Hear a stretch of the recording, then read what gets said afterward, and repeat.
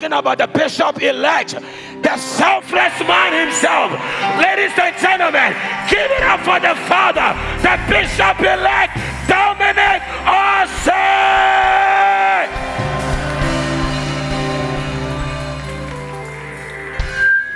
Come on, give it up to Jesus. Somebody shout and give Jesus some praise. Kingdom man. Kingdom man. Kingdom man. Kingdom man. Kingdom man. Kingdom man. Kingdom man. In the name of Jesus, we are rising. Somebody say, We are rising. In Jesus' name you know, to hear such testimonies about a brother who almost took his life. That God used this Ark of Men conference to change his life. Come on, let's give Jesus some praise for such a testimony. Because one of the things that the enemy is doing is to kill men. You know, today I was reading the book of Ruth. And when you look at Ruth chapter 1, you realize that Naomi had a husband and the husband died. Had two sons and the two sons died. Men are dying everywhere. So when we are able to get that man like get men together like this, heaven is rejoicing. Heaven is rejoicing. And some of you women here, your prayer is that God will save your brother. Some of you have wives here, your prayer is that God will save your husband. Some of you have lost your fathers. But this generation, we will not die. I said, the 21st century Christian man, you will not die kingdom man, you will not die before your time. Say, I will not die before my time. Say, I will not die before my time. Say, I cancel every premature death ahead of me. Say, I cancel it in the name of Jesus. Say, my husband will not die. Say, my, my brother will not die. Say, my father will not die. Say, my son will not die. Say, I cancel every attack on men in my life. In the name of Jesus. In the name of Jesus. In the name of Jesus. We will not die, but we will live to declare the mighty works of the Lord. You see a lot of people that when a parent dies, usually the man. I understand that usually men like to marry younger women. But Abraham was older than Sarah, and he did not die. Actually, ended up burying Sarah before he died. So, premature death should not be associated to men. I pray that we will not die. Cancer will not take you out. Alcohol will not take you out. Accident will not take you out. Straight bullets will not take you out. May the Lord preserve you. May the Lord cover you. May the Lord give you long life and good health. In Jesus' name. Amen and amen. So, welcome again. Women, we are appreciative of you for being here. This is the Ark of Men Sunday, and we are glad that all our mothers, our sisters, our wives are present. Amen. Because I believe that God is going to speak to us all today.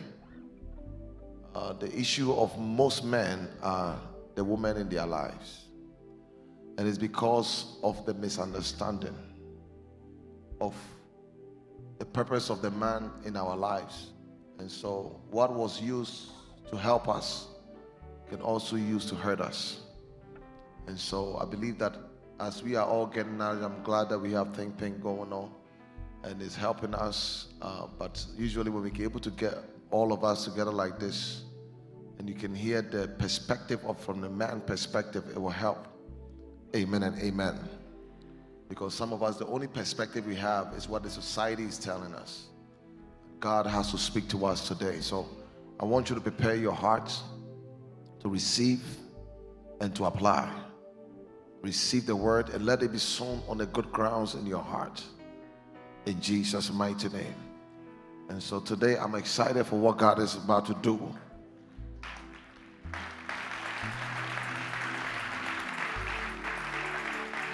Kingdom man, are you here? Yes. Amen. Now, if you are here for the for just you were not here Friday, the theme of this Ark of Men was the 21st century man. Uh, we are we're talking about the difference means to be a man in this 21st century. Uh, manhood have not changed, but the way we do things have changed. And if our women don't understand that, they can also um, it'll be an issue. So I believe I'm so happy for this Sunday that God is going to use the man of God to really, really help us out. And so I want us to pull from Him.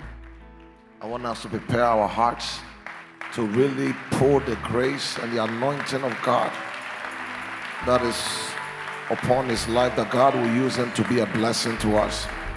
In Jesus' name, amen. Amen we have the 21st century woman. And we realize that the woman that was there in 1970s is not the same woman now uh, because things have changed. Amen. Back in the days, your father would not take you to school because you were a woman. Uh, but nowadays, women are going to school and getting big degrees, even bigger than men's degrees. Amen. And so things have changed, and we need to learn how to still move and still keep our purposes on this planet. Amen. And so um, this is what the Ark of Men conference is about and was about this weekend. In Jesus' name. Amen and amen. Now, the man of God I'm about to introduce to you is not a stranger to this house. Um,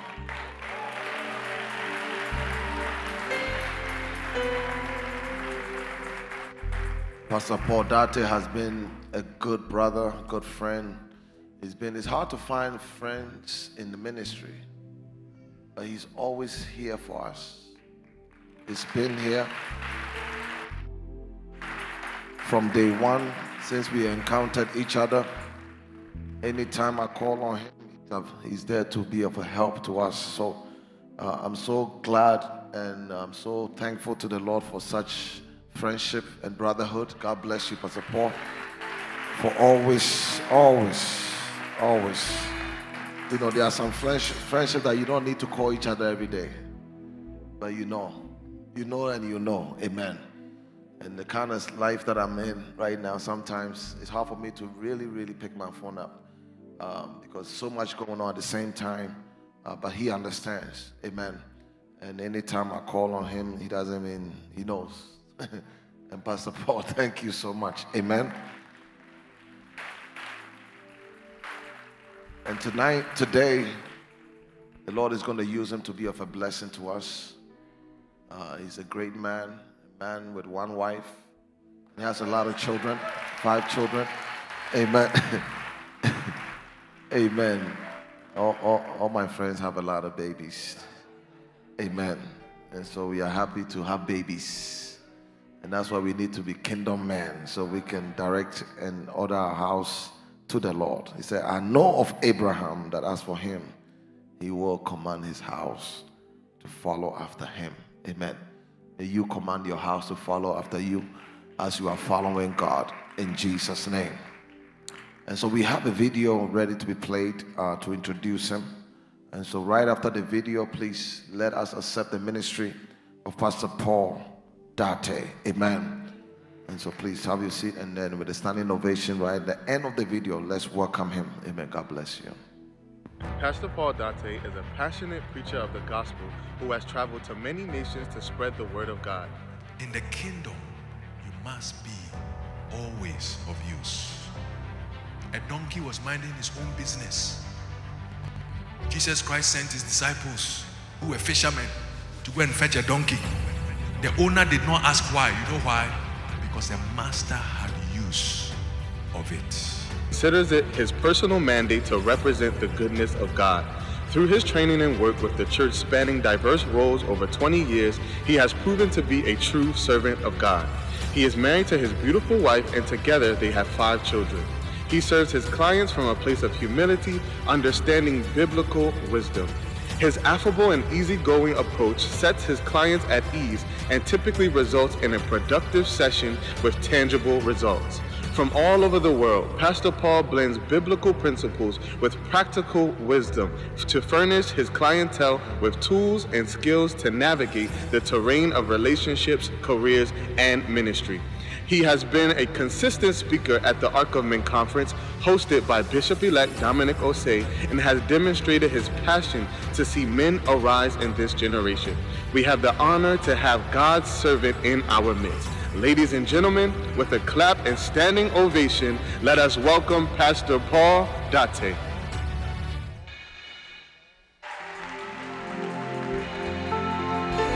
Hallelujah.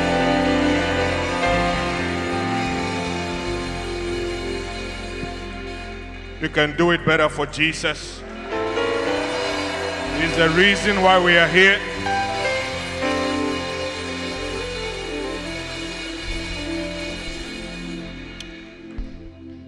Let's do it better for our illustrious host.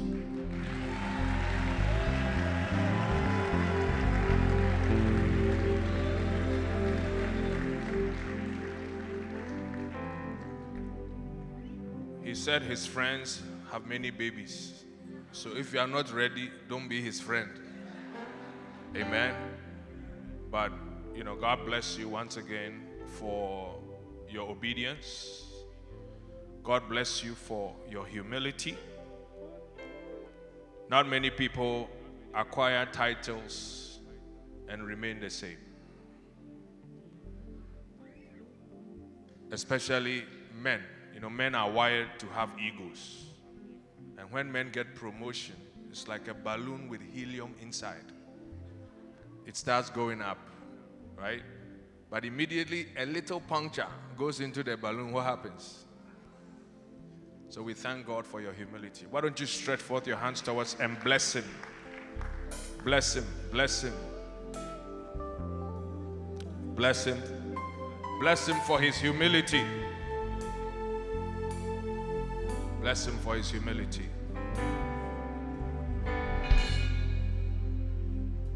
While your hands are still stretched, let's bless His wife, Prophetess Lesley. Wherever you are, God bless you. God bless you. God bless you.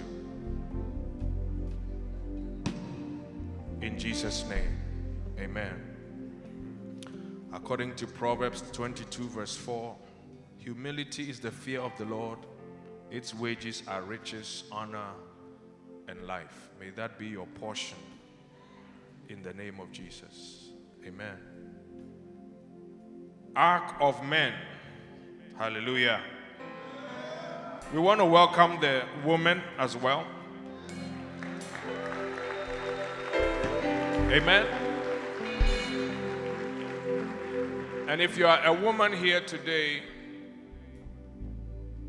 what you are about to learn and experience should equip you to understand, to discern how to live with, and how to appreciate a man.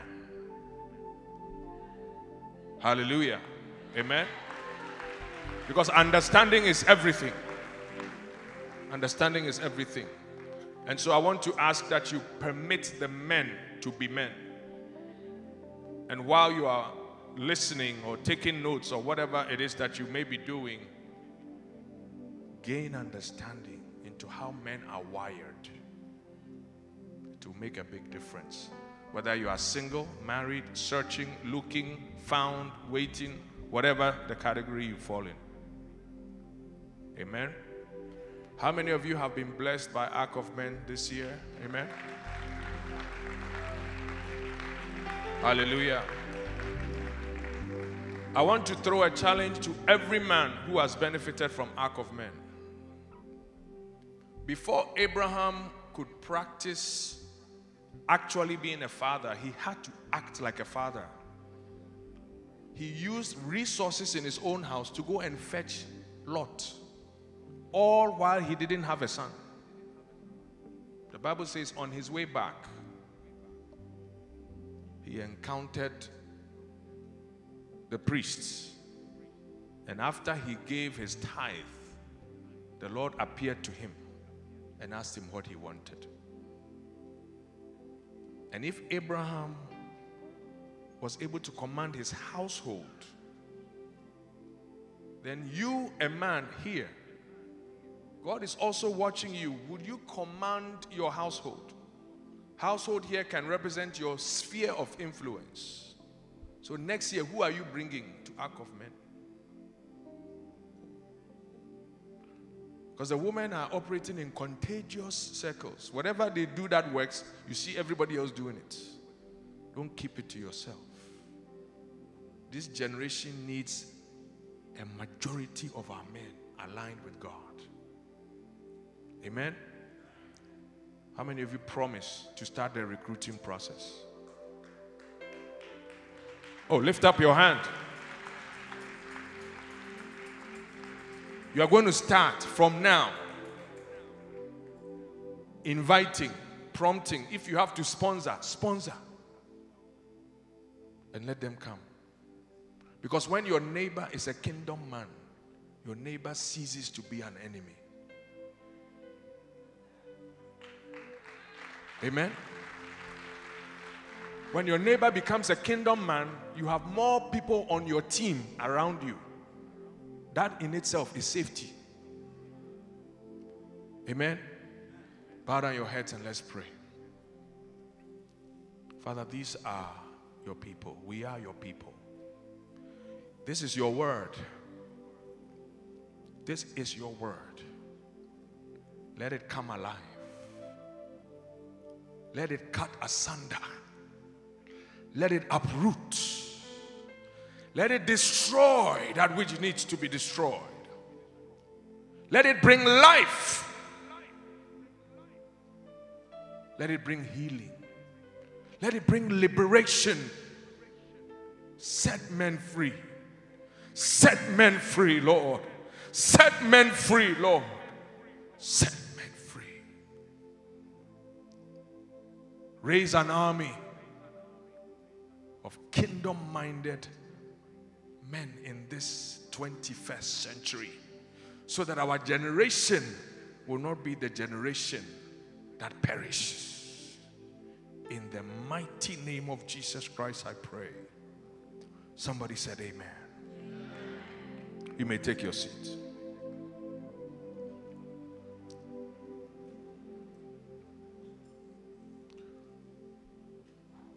The word that I have to share today has been so heavy. And I want to trust that it's because the clouds are pregnant with something that God wants to do. Rain is water. But when water is coming in the form of rain, how many of you can smell rain? So, ordinary water doesn't have a smell, but when it's coming in the form of rain, you can smell it. There's something in the air. The clouds become dark because there's something that is going to be let loose on us. And I pray, I pray, I pray, I pray that your heart is ready. Let's do the declaration that I usually do, and then we'll get into the Word of God. I trust the integrity of God's Word. It's un- infallible, unfailing, faultless, impeccable, perfect, precise, and accurate in its declaration, final, in its authority, comprehensive and all sufficient in its provisions. Shout it like you believe it. I love God's word. Amen. We are trying to understand and overcome the trauma and the frustration of a Christian man. We're trying to understand and overcome the trauma of a Christian man. And in doing so, we are going to use one person in the Bible as a character study.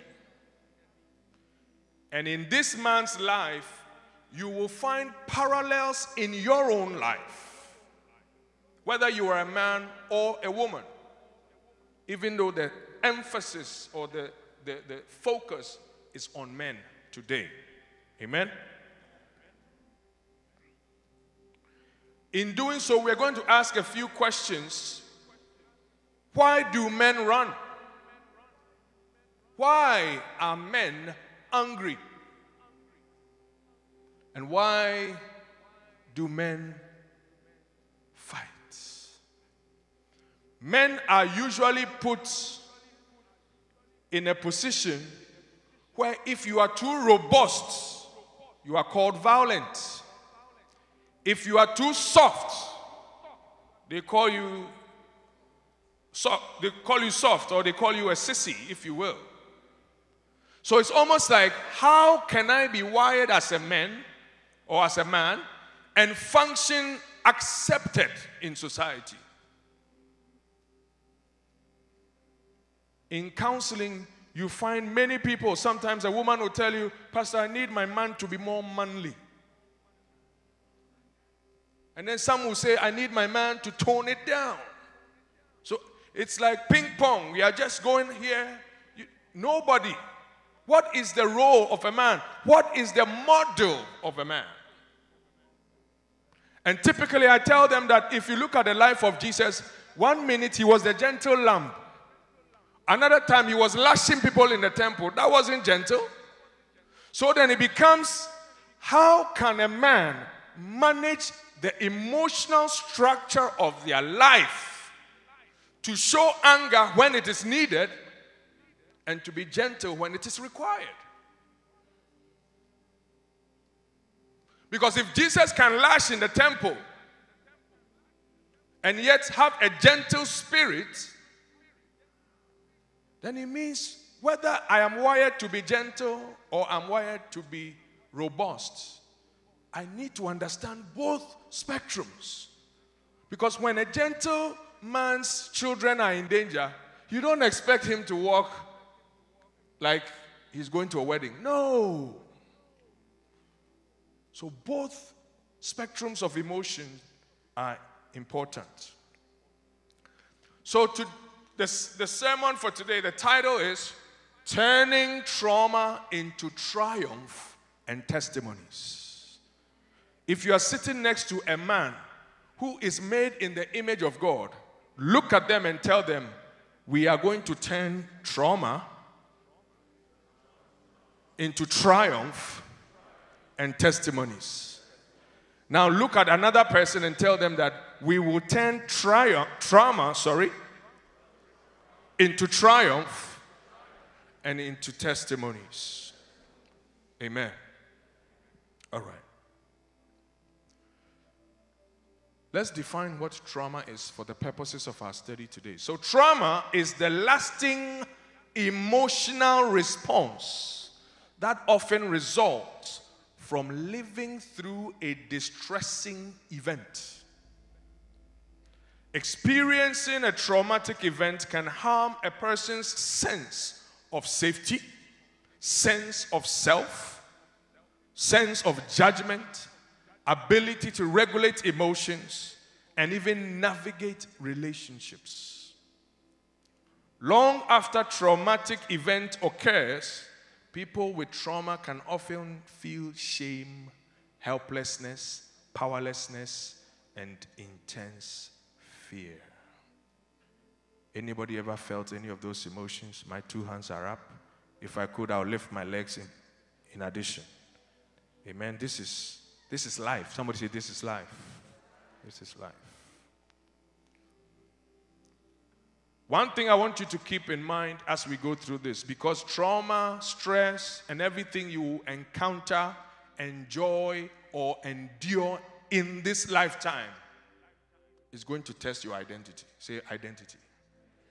So, unless I find my security in Christ, I will be walking in insecurity. Remember that unless your identity, your value system is in Christ, you will be walking in insecurity.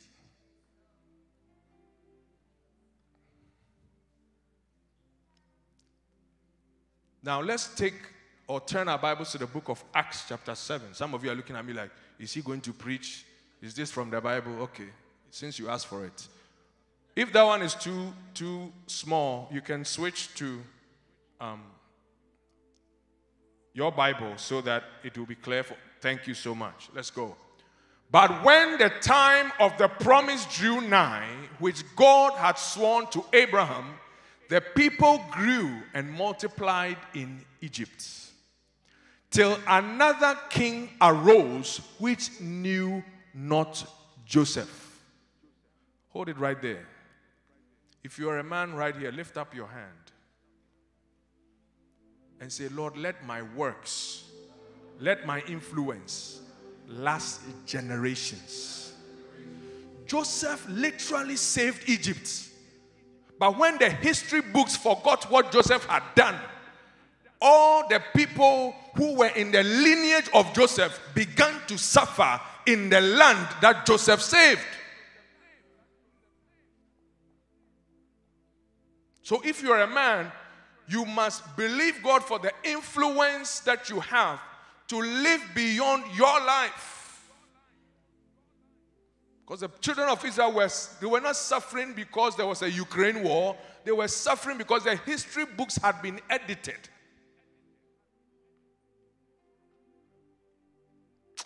Ah, God help us. Let's go. Let's continue. The same dealt subtly with our kindred and evil entreated our fathers so that they cast out their children to the end that they might not live. In which time, Bishop was sharing it the, the other time, that the midwives, they were given a mandate to abort the men.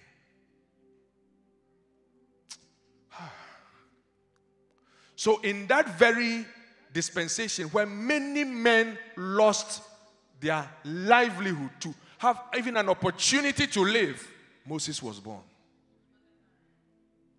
Can I tell you something? You cannot wake up in the morning and be alive by accident. You can do foolish things and die, but you cannot do foolish things and live. In other words, the intentionality with which God preserves your life should be the driving force of how you live. Nobody wakes up in the morning and heaven is like, oh, he was supposed to die. No! Living is an intentional privilege that God gives you. People died. Moses lived. You are here. Yesterday we learned that many people die daily. Why are you here? Why are you here?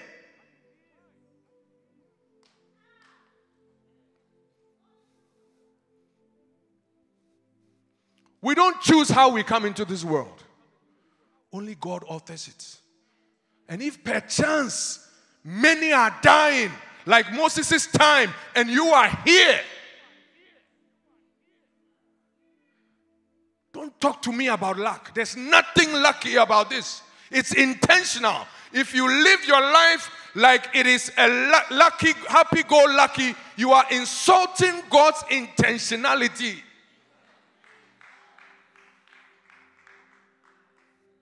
It's like I know you are coming and I prepare your best food and you come, you say, I don't want it. Excuse me? So Moses' life was ordered, it was intentional. And if you are listening to me under the sound of my voice, it is not an accident that you are here right now. No accident. The brother who was sharing the testimony, who put a nine millimeter, millimeter in his mouth. Haven't you seen people's gun go off by accident before? So, what more the person who has a gun loaded?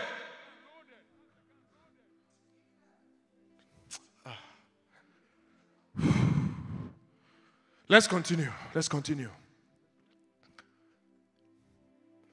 In which time Moses was born and was exceeding fair and nourished up in his father's house three months.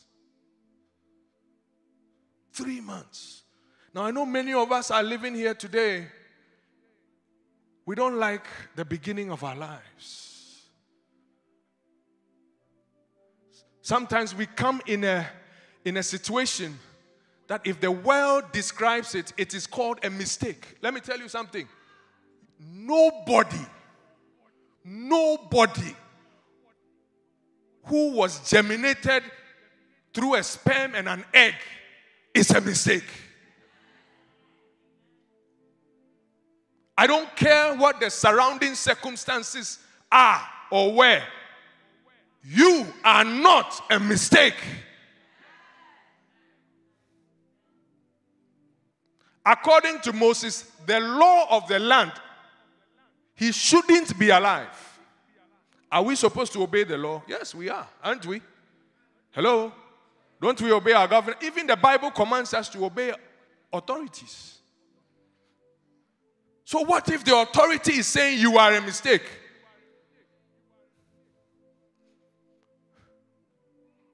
You see how men have a dilemma?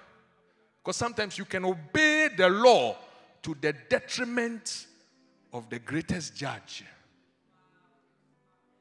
So the, the, the description on earth is that Moses is a mistake. The prescription of heaven is that Moses is the savior. Do you know how many saviors are sitting here today who are being called a mistake? Do you know how many men are sitting here today who feel useless, but they are the ones that God has chosen?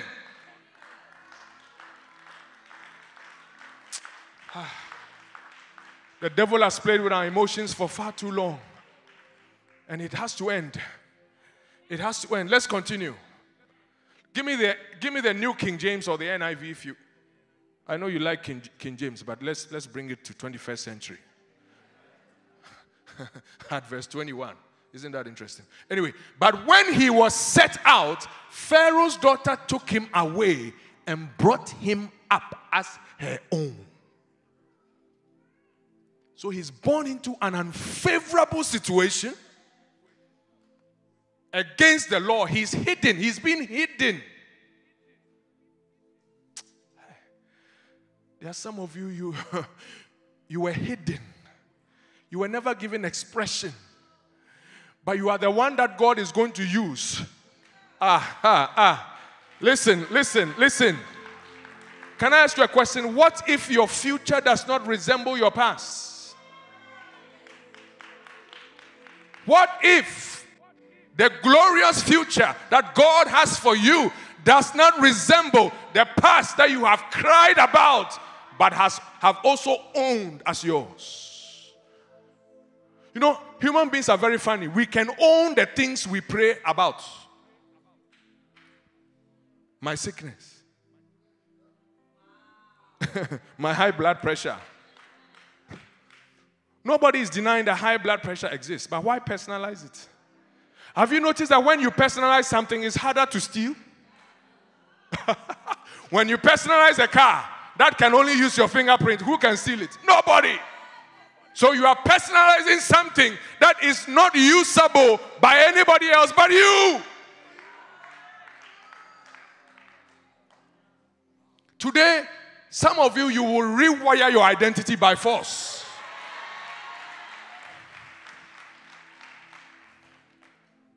It happened, but don't own it. Hallelujah. Ah, let's continue. Let's go. And Moses was learned in all the wisdom of the Egyptians and was mighty in words and deeds. Now, when he was 40 years old, it came into his heart to visit his brethren, the children of Israel. And seeing one of them suffer wrong, he defended and avenged him who was oppressed and struck down the Egyptian. For he supposed that his brethren would have understood that God would deliver them by his hand, but they did not understand. Jesus. And the next day, he appeared to two of them as they were fighting and tried to reconcile them, saying, Men, you are brethren. Why do you wrong one another? But he who did his neighbor wrong pushed him away, saying, Who made you a ruler and a judge over us? Do you want to kill me as you did the Egyptian yesterday? Why do men run? Then at this saying, Moses fled and became a dweller in the land of Midian, where he had two sons. When you don't heal from your trauma and you bring offspring in your trauma, you're going to have traumalets. That's how the generation passes it on. Because you didn't, what you don't heal from, you will bleed from. And when you are bleeding, it's the people who are close to you who are being infected by the bleeding. Let's finish reading so I can really get into it. And when 40 years had passed, the angel of the Lord appeared to him in a flame of fire in a bush in the wilderness of Mount Sinai. When Moses saw it, he marveled at the sight. And as he drew near to observe, the voice of the Lord came to him, saying, I am the God of your fathers, the God of Abraham the God of Isaac, and the God of Jacob. And Moses trembled and dared not look. Then the Lord said to him, Take your sandals off your feet, for the place where you stand is holy ground. I have surely seen the oppression of my people who are in Egypt. I have heard the groaning and have come down to deliver them. And now I will send you to Egypt this Moses, whom they rejected, saying, Who made you a ruler and a judge, is the one God sent to be a ruler and a deliverer by the hand of the angel who appeared to him in the bush. some godly endorsements start with some human rejections. Oh, come on, come on. Where's where, where, where is Brother Elijah? According to your testimony, some of the rejections were a setup. You know, but when the rejection comes in the beginning, we question, we say, God, why? Why? Why? I'm coming to church, I'm doing Bible study in the morning. I moved from New Jersey to Connecticut in faith to serve in your house. And it's almost like the one rejecting you is finding a reason not to give you what you should easily get.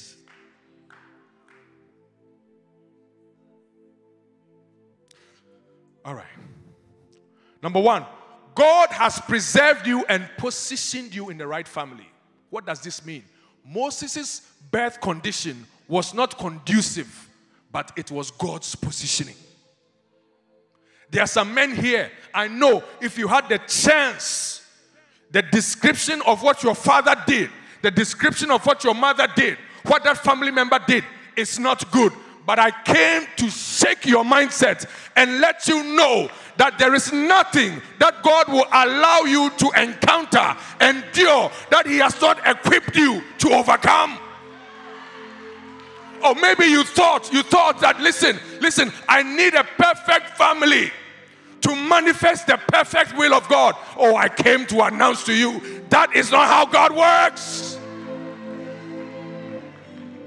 Listen, anybody can win a good basketball game if you give me the dream team. With the dream team, you can win any game because they are the best in the world. So even I can pretend to coach the dream team. All I'm probably going to say is that give the ball to LeBron James. They'll figure it out. But God specializes in using the stone that the builders have rejected. The one whose story is not wanted by Hollywood. The one whose situation is not a prayer request like, oh my God. I want you to imagine the life of Moses, brought up in what will be described as the White House of today, only to grow up and realize that he had lived a lie. Now he's conflicted. Am I an Egyptian prince? Oh, or am I an Israelite man? On one hand, Egypt has all the promises. But he knows that when he puts his head on the pillow, his dreams, the cries of his soul are in Hebrew. Do you know how many men are forced to function in a role that they were not wired to function in? But society has told them that this is how it ought to be. So even though there's an emotional turmoil, they are pretending that they fit in. That's why it is wrong for you to adopt society's definition of who you are when the master planner, the one who wrote the, the computer code of your DNA, has called you that you are the leader, but society is telling you that you are a nobody. Do you know what the trauma of that means? Now he's going to measure everything that happens to him through the eyes of mistaken identity, of wrong identity he has no place to belong. So much trauma for the man called Moses. Because luxury is good, but luxury that doesn't make you sleep at night is not luxury. It's not luxury. No, no, no, no, no, no, no. That's why in our society you cannot define yourself by the car you drive.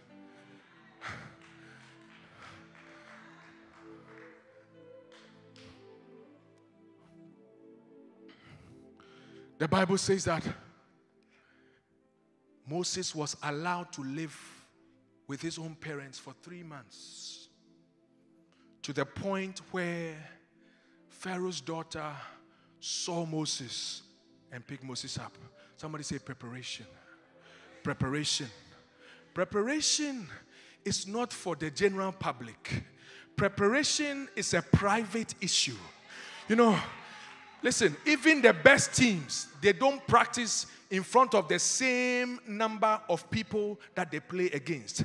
The problem with our generation is that we want to be we want to be complimented on everything we do. We want everything to be liked. We want everything to be retweeted. But your training is not supposed to be retweeted.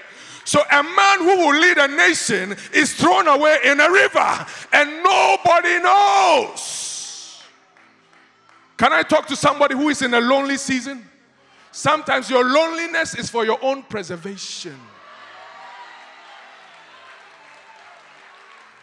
Let me tell you, premature exposure and premature promotion has killed many people more than enemies.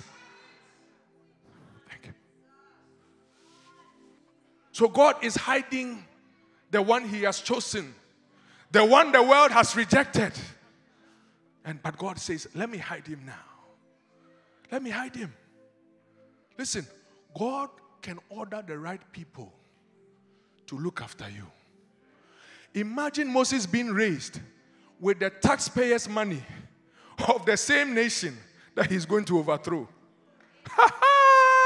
Listen, God has a way of hiding.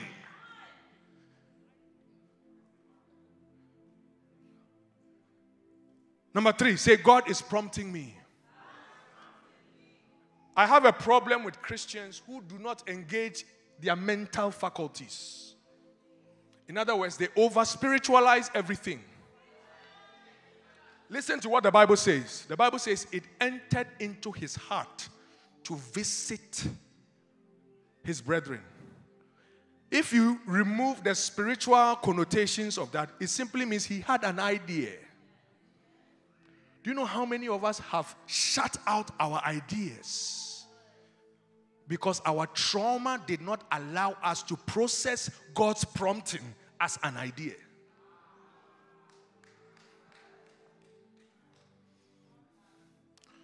The lady was the lady was sharing the testimony and we were laughing about it, right?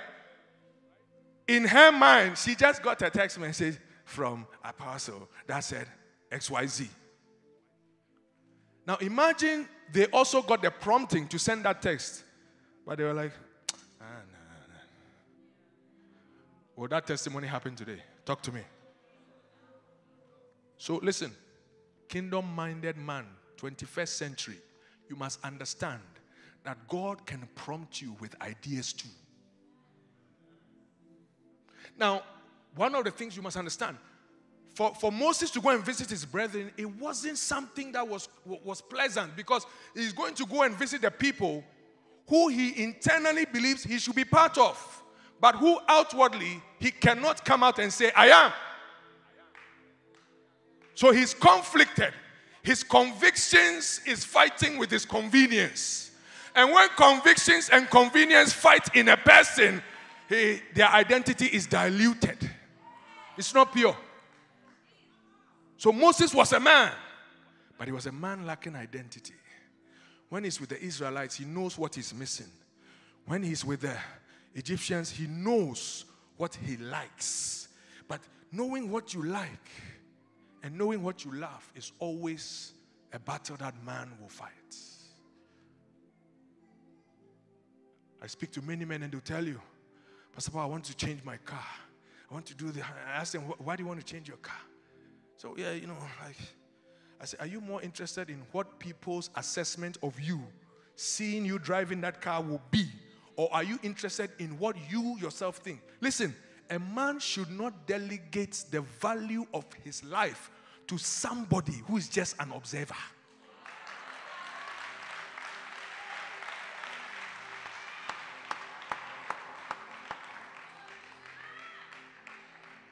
Observers are worried and contributors are silent. No, the people who contribute to your life, they are the ones whose opinion you should be worried about.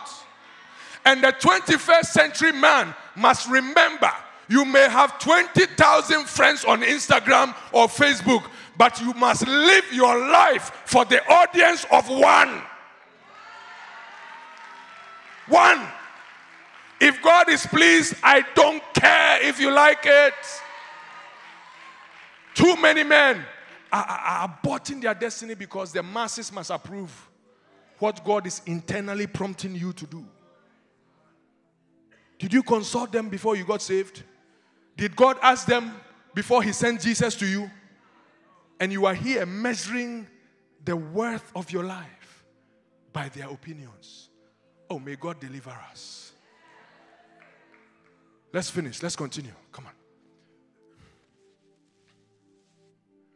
God's call is personal and private before it's public. You remember?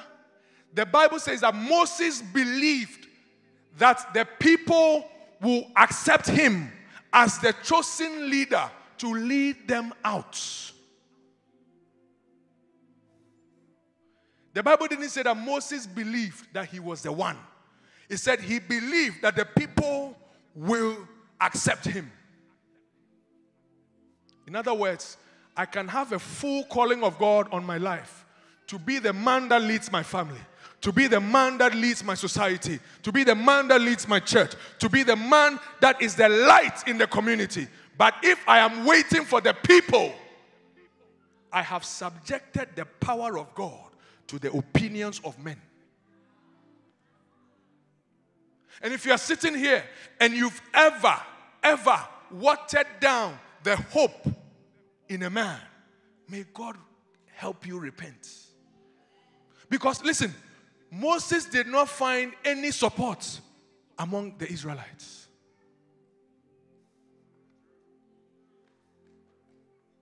If you are a brother and you don't know how to pour water on somebody's seed, then you are as good as weeds.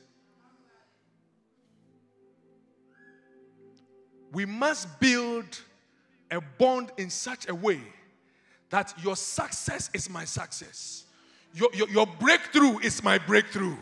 We must be so connected in the will to have and see each other do well that I don't have to go and get validation from Egypt. Listen to Moses' trauma. In Egypt, he was accepted. Among the Israelites, he was rejected.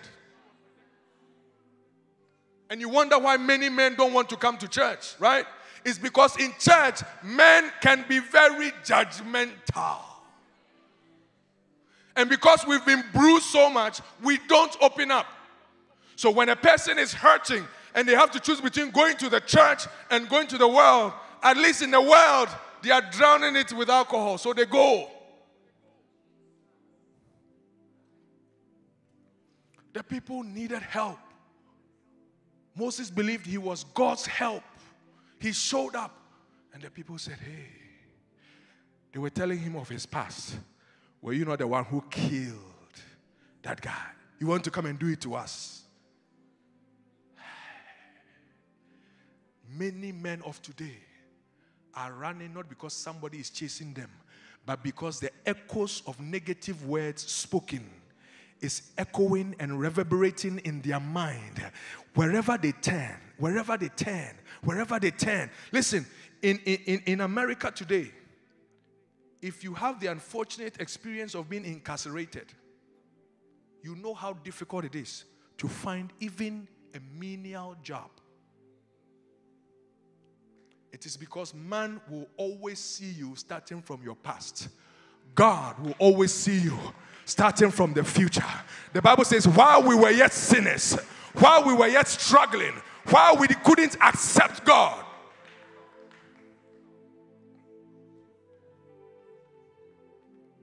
say, I will not break a man with my words.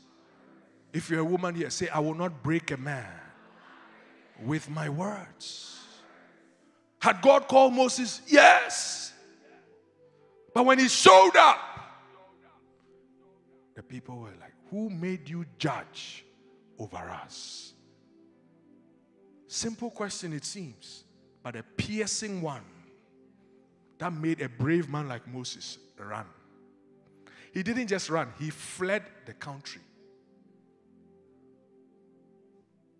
Because you know, they probably would have tweeted it. Even if they accused him and helped him, okay. But they probably would have tweeted it and said, the guy, he's the one. I know where he is. And if there's a ransom, probably they will do it even faster.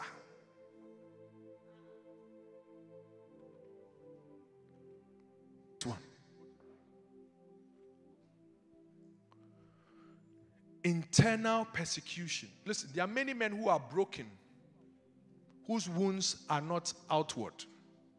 So when you see a man not acting the way he should act, there's some like for example, when you're driving and you experience road rage by somebody, chances are that that person didn't wake up that day and decide that I'm going to act out my anger while driving. Something is pushing them.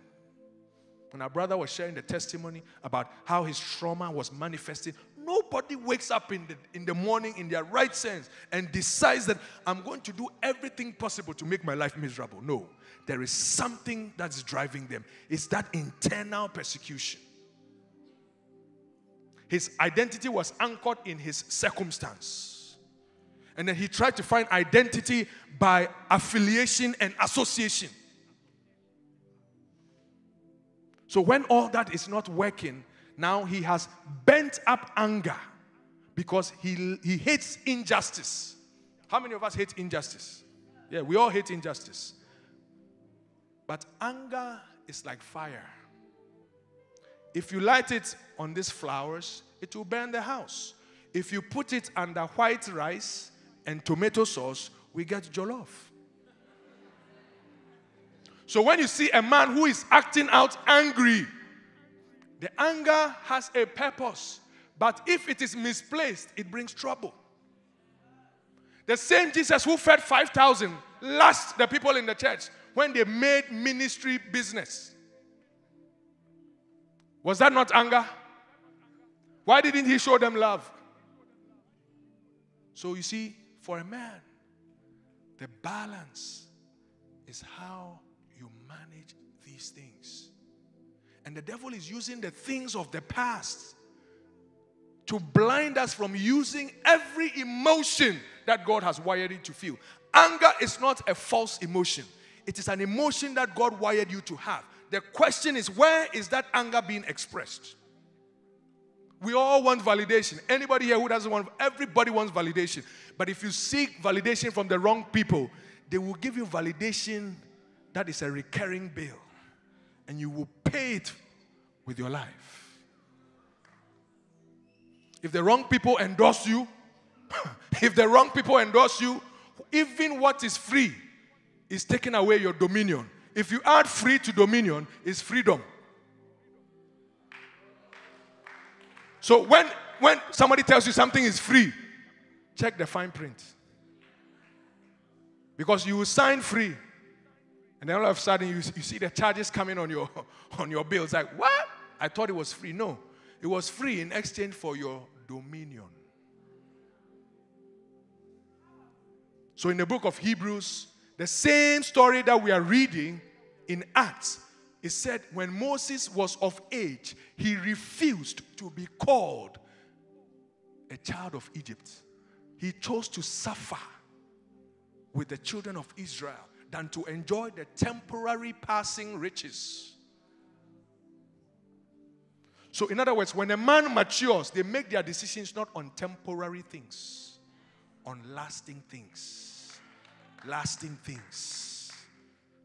Let's continue. Fear will make you flee, faith will make you fight. If you are a man, write that down. Anytime you are fleeing, ask yourself, who's chasing me? Usually it's nobody, it's just a voice. One of the things that the devil's ministry involved is, is accusing the brethren. And when his accusations follow you and you don't walk in faith, you will flee. So Moses had to flee. We abandon our call because of trauma. Moses did. Because trauma is affecting your identity. Your calling is very personal to who God has made you.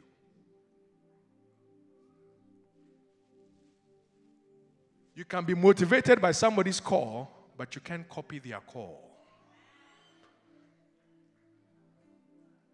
That's why your personal confidence is very necessary.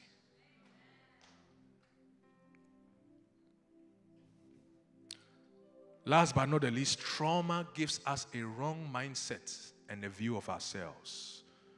Jesus, after having fasted for 40 days, at the height of his spiritual powers, I would even be bold enough to say that he was so anointed at that time that if a bee stung him or a mosquito bit him, that mosquito should or the bee should fall under the anointing.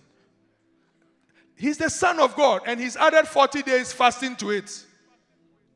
And the devil comes to him and he says, If you say you are the Son of God, men, your identity will always be questioned. If you say, Are you really a man?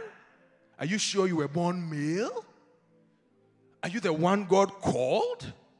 Do you think you deserve a family?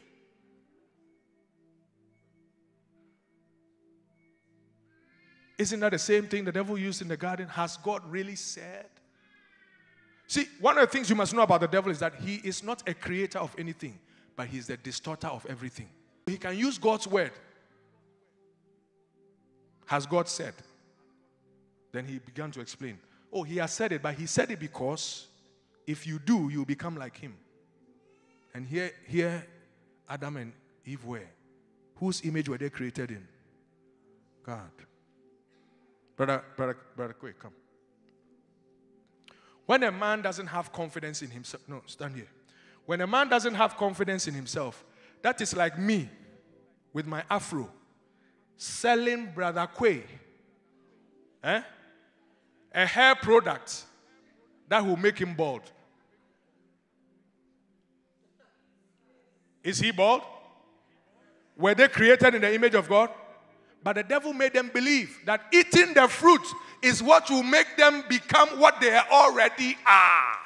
So the only reason Brother K will buy what I am selling is if he looks in the mirror and he sees that he has an afro. So I can sell him a bald product. There are many of us, we are in line to buy something that we already are.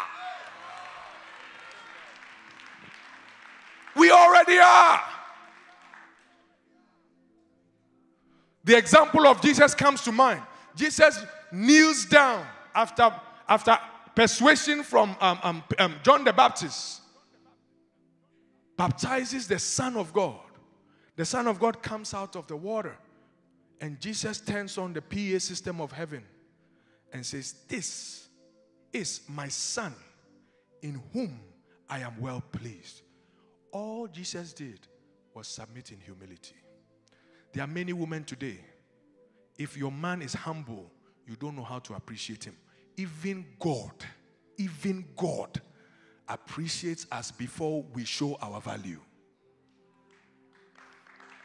Even God. This is my son in whom I am well pleased. He had not healed the sick, he had not raised the dead, he had not even called a disciple, he had not started ministry. There are many of you women. You measure men by potential. but God measures us by the seed. The seed.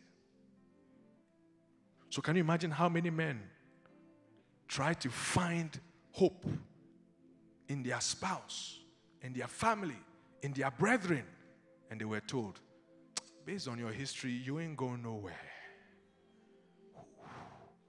Remember Joseph? He told his family the dream. The very people he was supposed to save, they killed it before it could even germinate. Or at least so they thought. Last night, I shared something with, uh, during the discussion, I said that you will safely heal, or no, you will heal from what you safely reveal, and you can from what you fearfully hide.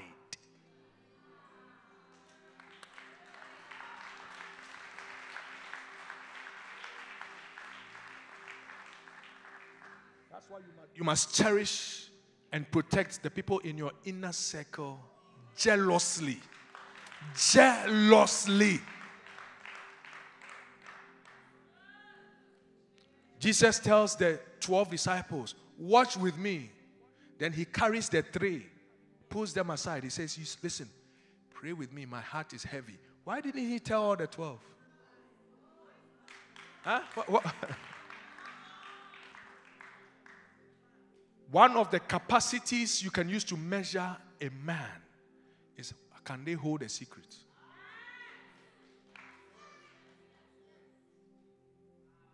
Can they hold a secret? You remember Ark of Men, Maryland? Wasn't that around the time you were, you were, you were acquiring this? so when we were going back and forth, we were going, so when later on the announcement came and I asked you, you said, oh, during that time, even while I was on my phone, I was doing the signing. I said, hey, this man, capacity to contain.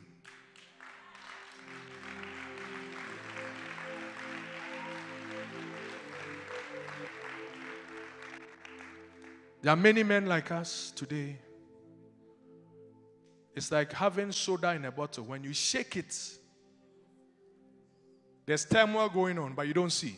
If you open it by mistake, you will spill everything.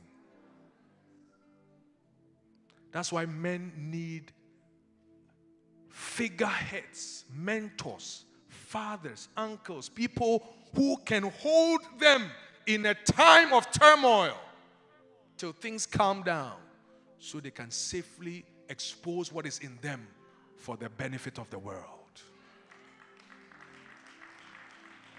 And for some men, they haven't had that growing up. And so the first person is their wife.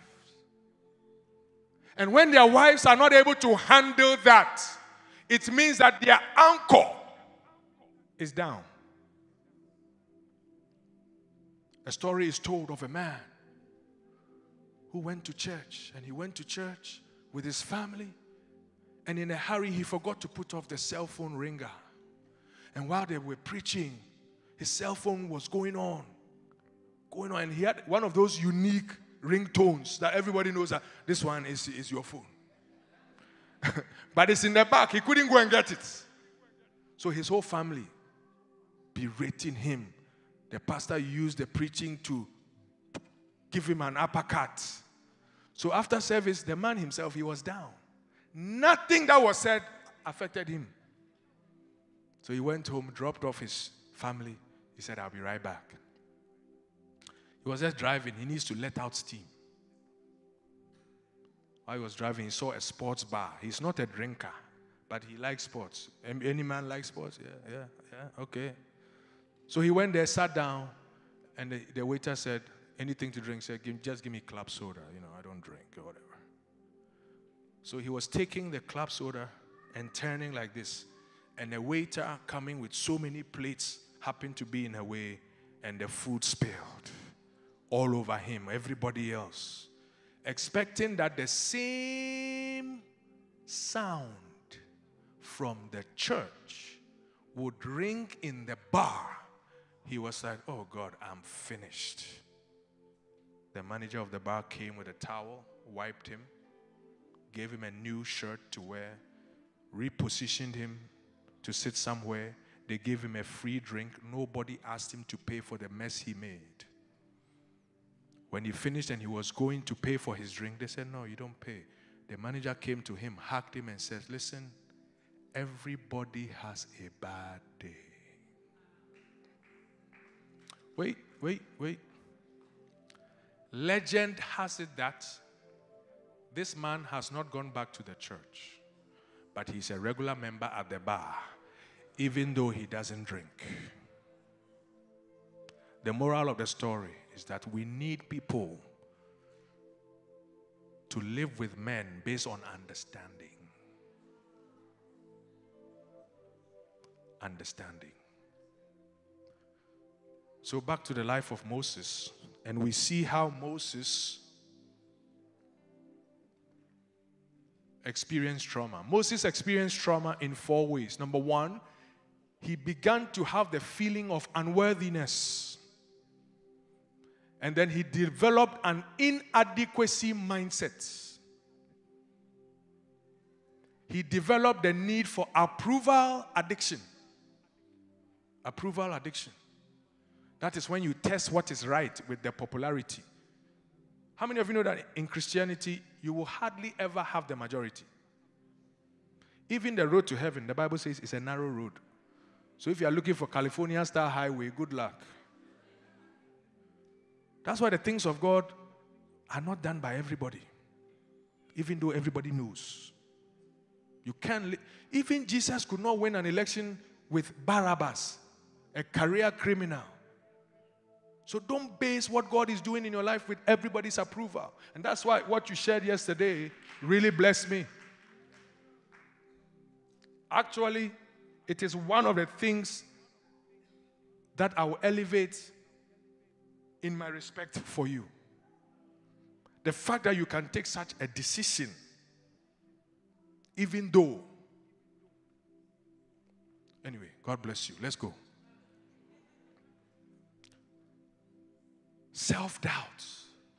Self doubt is when you know the word. You've read the word. You know the word is talking to you. But I said, nah, it's not me. Oh, no, no, it's not me, it's not me, it's not me. It's not me. Inferiority complex is when the thing is the favor of God, but you are interpreting it as the falsehood of God. Because favor is a burden, favor is responsibility.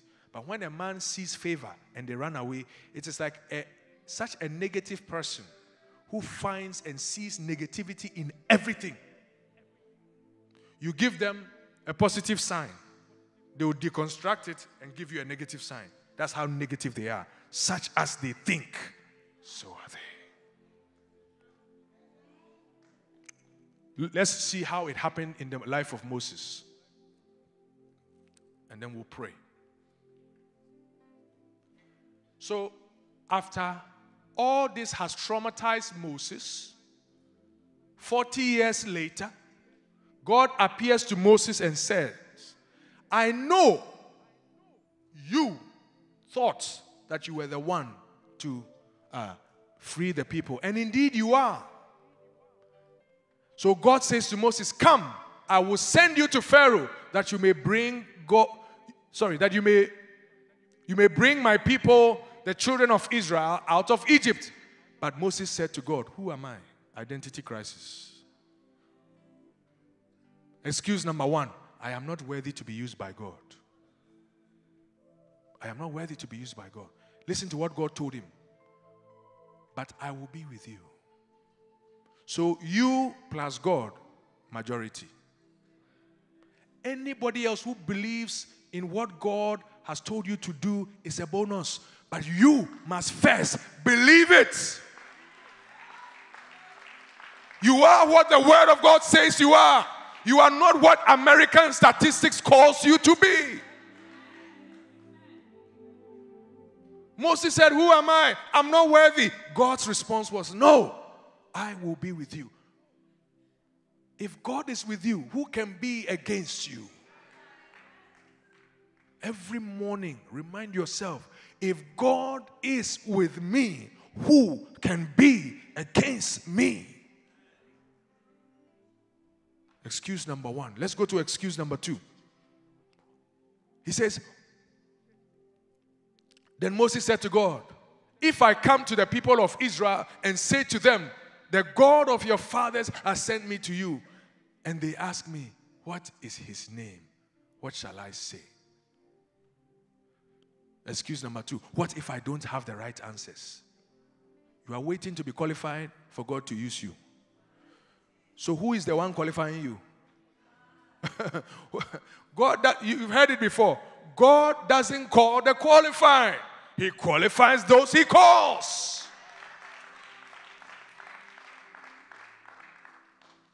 That is why it's good to have as many degrees on your resume as a thermometer. But it doesn't matter. When God steps in and you are still using degrees, then you are in trouble. Am I saying is is bad? No, no, no, no. Get them, get them. But submit them for God's use. Nobody comes in the presence of God wearing their crown. How dare you? No. Moses was asking, What if I don't know? What if my accent is wrong? What if I'm going to be the only black man among them?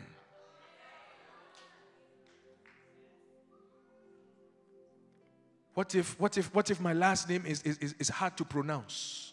Hey, the things men do. What if nobody believes me? Sometimes a man is looking for just one, one person to say that I'll stand with you. They can't find.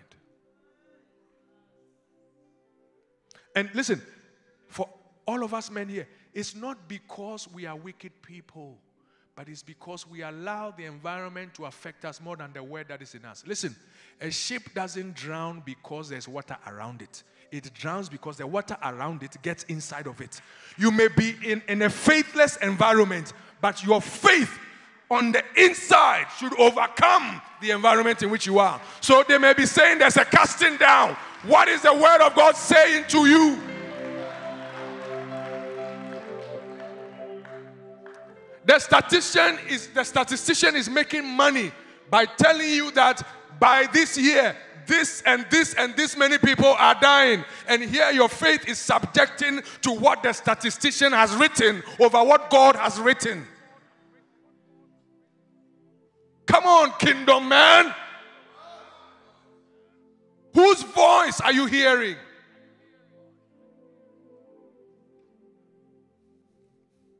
Excuse number three. And then we'll pray. What if others don't respond and doubt me? You are going to wait on the people who need to see God in you to be the validation of whether God is in you.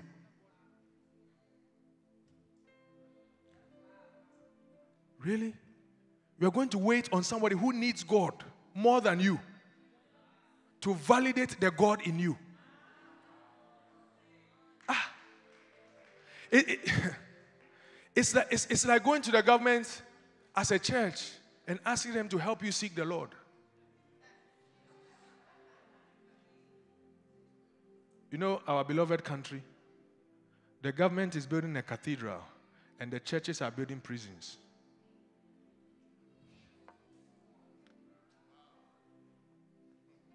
That one is for another men, Ark of Men's conference. Let's stick with Moses, I beg. Let's not go. and God's, God's answer is that I will empower you. I will empower you. And even that statement, categorically, it is wrong because in God's presence, there is no lack. So basically, he's already empowered, but his language and faith is not up to the point of tapping into the totality of God. So God even has to use a language that is almost not correct so that his mind can capture the fullness of God. So the Bible says that God is able to do far abundantly above all we can ask or think or imagine. In other words, if your vocabulary is not like some of the people who read a book a week and your prayer is limited, your thoughts should not be limited. Because God can answer a prayer that is in a form of a thought.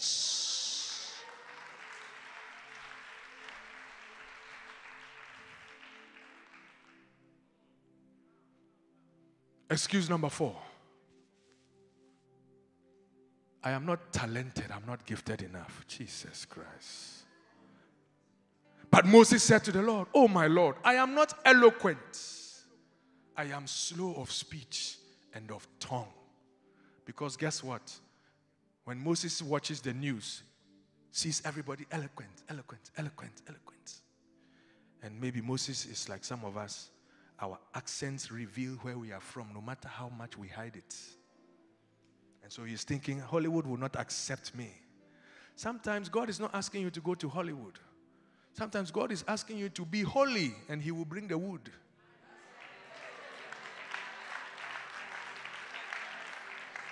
Let me tell you something. A kingdom is one that is self sufficient. They bank among themselves, they trade among themselves. They do acquisitions among themselves. The minute the kingdom has to step outside the kingdom to go and borrow something, you are subject to that foreign kingdom too. That's what Tyler Perry did, right? Tyler Perry said he wants to do plays where they'll mention Jesus.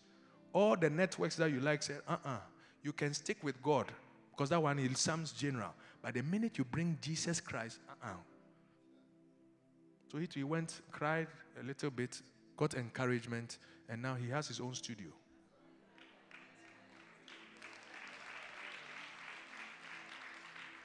So, kingdom man, thank God for that rejection and use it for redirection.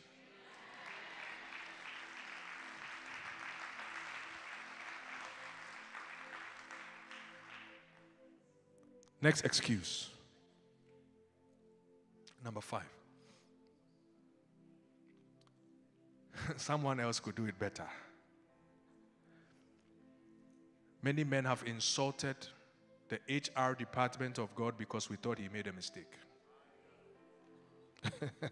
the one who created your tongue, you are telling him you are not eloquent. Okay. The God of all flesh, you are quoting to him the statistics of the medical history. Wasn't that Sarah's story? Sarah was like, God, God, I, oh God, I know you're able to do everything, but look, my, my, my body is, is, is, is, you know, it's just, it's just She laughed. She laughed. And God's response to that is that I will use you. In other words, it is not you, it is the one controlling you. So if you're a man here and you've ever doubted your abilities because nobody in your family modeled those abilities, I understand. I understand. But God is the one in whose hands nothing becomes something. It is God. God is the one who can use five stones to do what a customized outfit of the king could not do. There are many of us, Saul is putting his armor on us. But because we think Saul's armor is the best, we are walking uncomfortably in it. We are bent out of shape, not in the original identity of God, but because people like it, we are wearing it. David said, Sir, I respect you. I know this is made by the best there is. In today's world, it will be rejecting Air Force One to go and fly JetBlue. or even Greyhound. Let's go, let's go for to go and take Greyhound. But it shows that a man who looks to society to find their identity will change at every turn of society.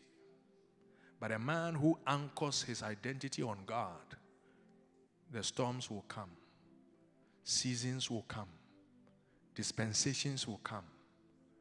But the Bible says, everything shall pass away, but the word of God shall not pass away. Please stand up on your feet.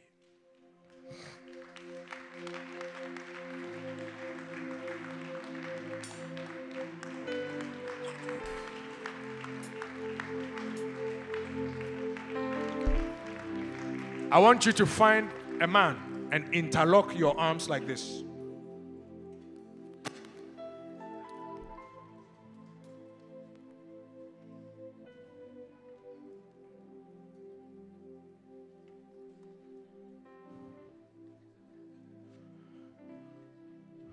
You see, until Moses accepted the call, help did not come. It is when he accepted that Aaron was sent. Because Aaron cannot be sent to a person who's running from the call. What's your address if you are running? but if you are yielded, surrendered, stable, God can say, Aaron, go there. There are many men who are running, not because they are not called, but because they are traumatized by what the call will represent. The call of fatherhood, the call of the leader of a family, the call of the one who represents God in the society is under attack. Because the only duty Abraham had was to preserve the name of God in his generation. And today we are reading about it. What if Abraham failed?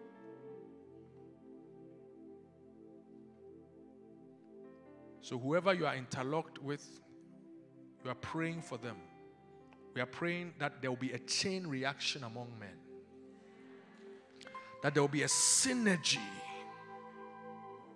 of seeing another brother whose struggles you identify with, but whose victory means as much to you as your own. The Bible says, one shall do chase how many? So if you even do the multiplication, two shall do what? So when we are united, God even breaks down the multiplication rule. We're going to pray. And if you're a woman here, I want you to stretch forth your hand towards the men in our society. Because the way God works, it's order. If anybody comes through this church out and comes through the roof, they are an intruder. If they come through the door, they are welcomed. So, whatever God is going to do in our society, regardless of who is president, queen, CEO, whatever, it's going to start with a man. It's God's order. That's it.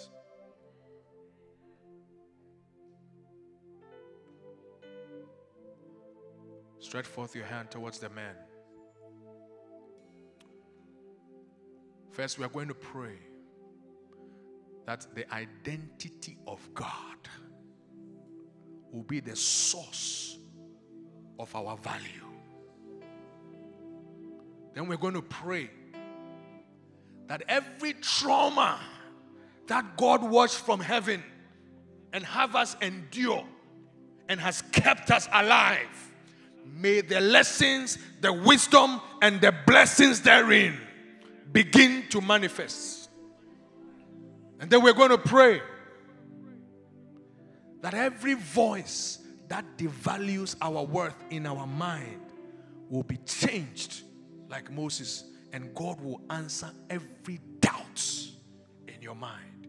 You cannot leave Ark of Men with the things that troubled you that you came with. No. No. No.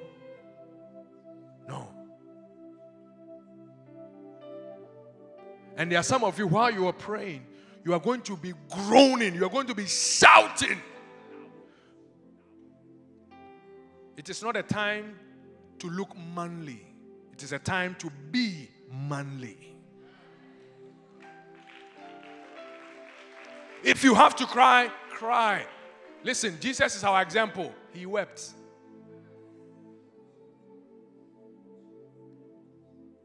Right there, it's coming. It's coming. It's coming. Some of you are going to start breathing very heavy. You're going to breathe very heavy. It is going to bubble up. You can't contain it. You can't contain it. You can't contain it. Let it out. Let it out. Let it out. Let it out. Let it out. Let it out. Rabba Sukara.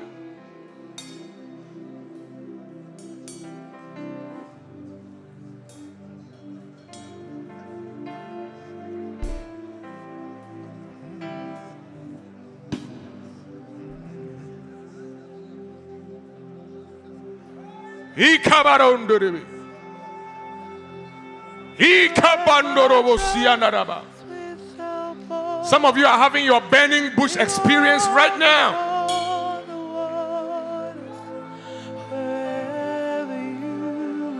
Rika baba baba. Let it out. Let it out. Your freedom is at hand. Be made strong. Your freedom is at hand. presence of my Savior. Spirit Ikabandorobosianarebe. is with us Hey, kababababa. on the wall. Kababa. Wherever you would come,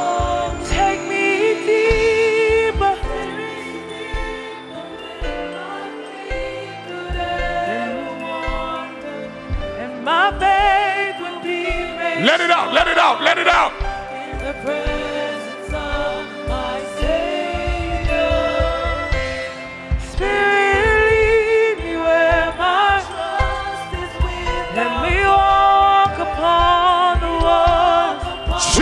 in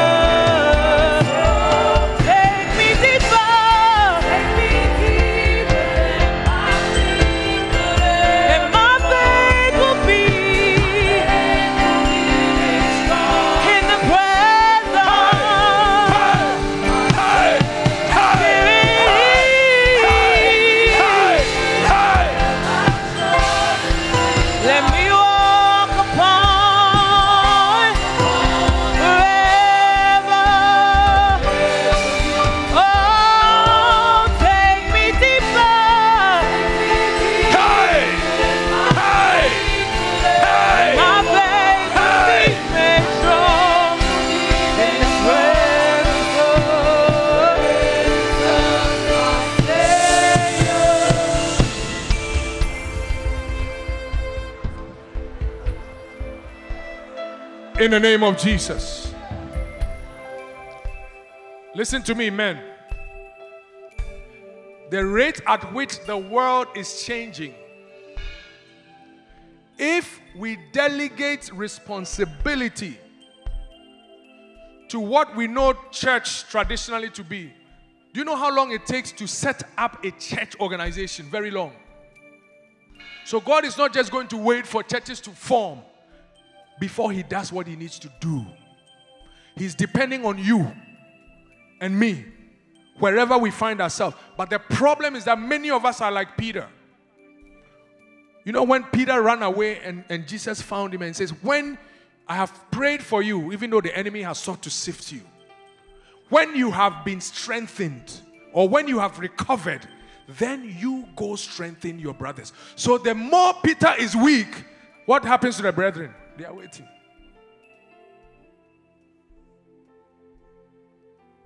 There are many of you, a legitimate or genuine mistake is what is preventing you from embracing the ministry God has given you. It is not an accusation. You were wrong. You were wrong. But you are nullifying the prayers of Jesus by postponing the healing he offers. And by postponing the healing he offers, generations are dying because of your no.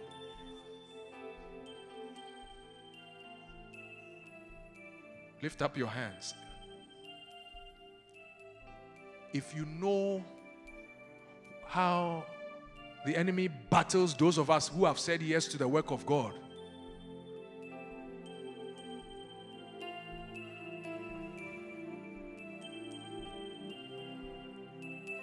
who is that person who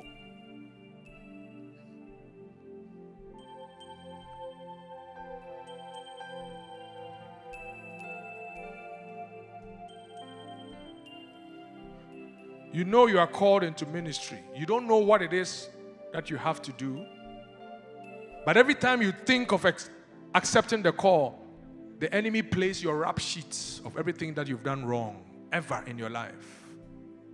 When you get over that, he says, You don't even have ministry in your family. Nobody will listen to you. You are not worthy. Your friends know your faults and your mistakes. Who is that? Who is that? Who is that? Let's pray for you.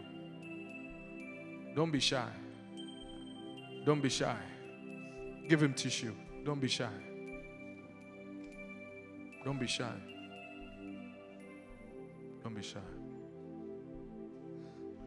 Do you know that Moses' trauma was tailor measured for the triumph he experienced with Israel? Because Moses had escaped Egypt by himself, alone. God said, Maybe you are the one who has the experience to help the people I want to escape.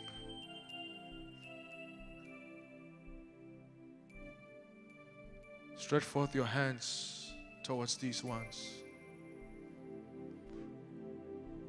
Your trauma cannot stop what God wants to do. No. No, no, no, no, no, no, no. Actually, we are going to submit our trauma to God to use it.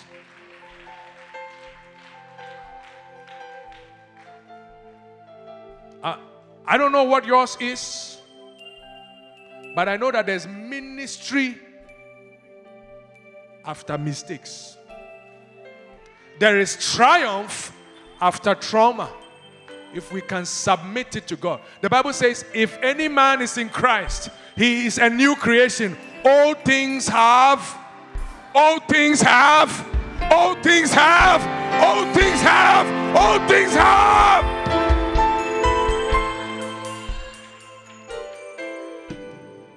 All things have passed away.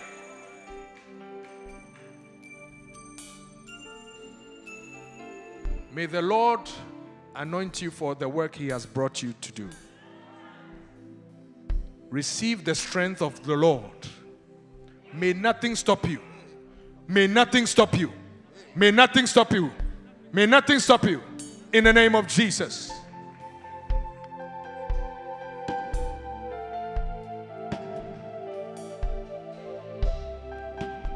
Do you play sports?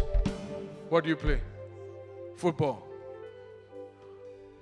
As strong as you are on the outward, that's how strong you are potentially in the spirit.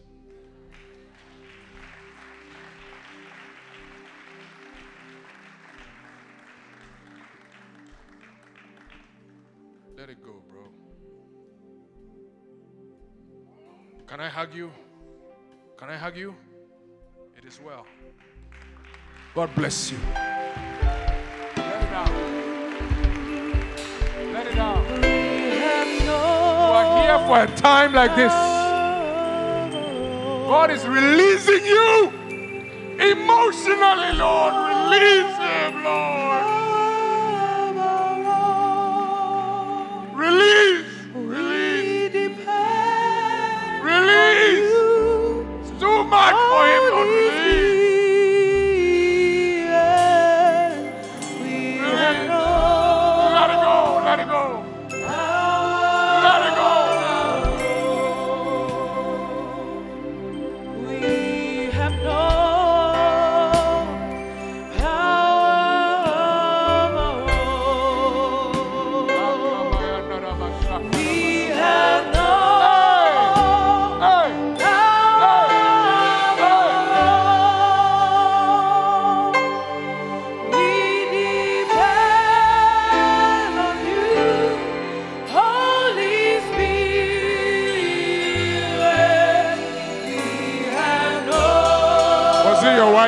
The testimony?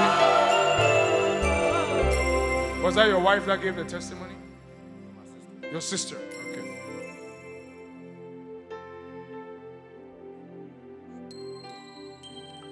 Father, I pray for a man with such a big heart. I pray for direction. I pray for confidence. I pray for boldness.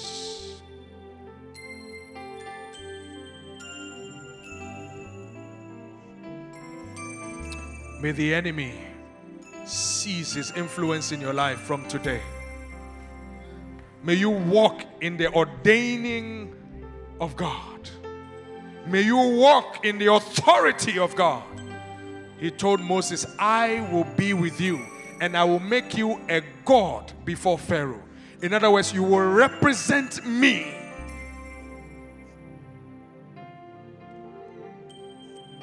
Are you ready to represent God in your family? Are you ready to represent God?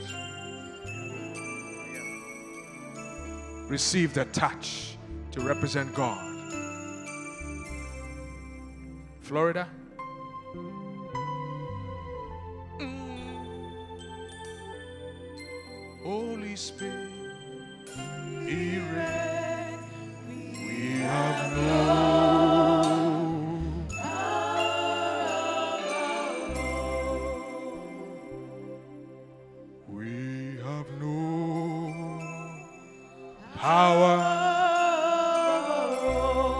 Lift up your hands. Receive the power of God. There's so much He wants to do. There's so much.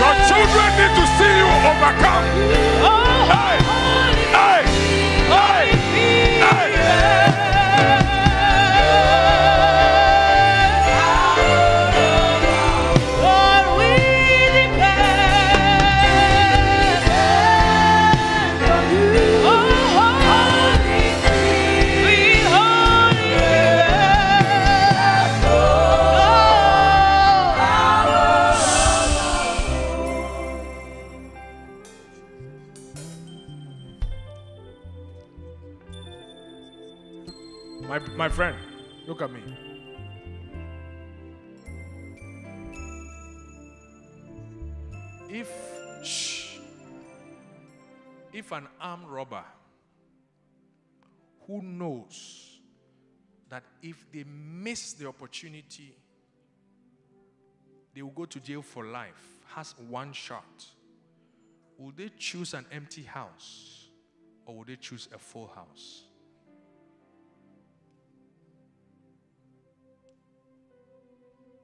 Which one do you think the armed robber will risk everything for? You are the full house. You are the full house.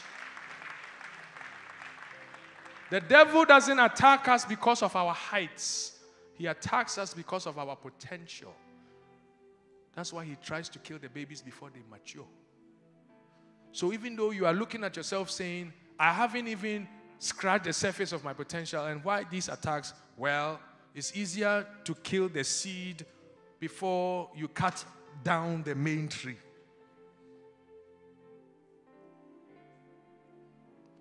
But the problem is that you cannot allow the devil to be more spiritual than you. He's seeing your future and you are seeing your present.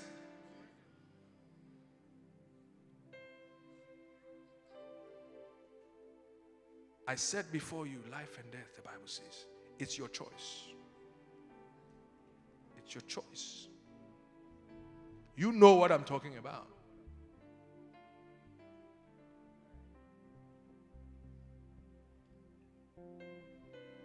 Your, potential cannot be hidden. So your persecution will also be public.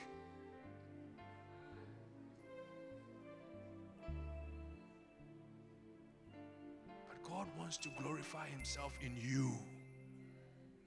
Will you let Him? Will you let Him?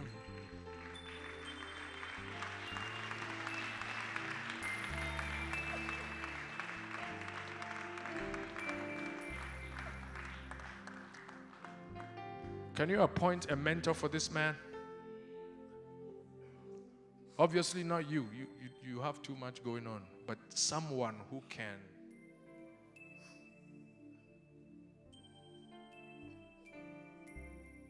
stretch forth your hand towards the sky. Oh, Father.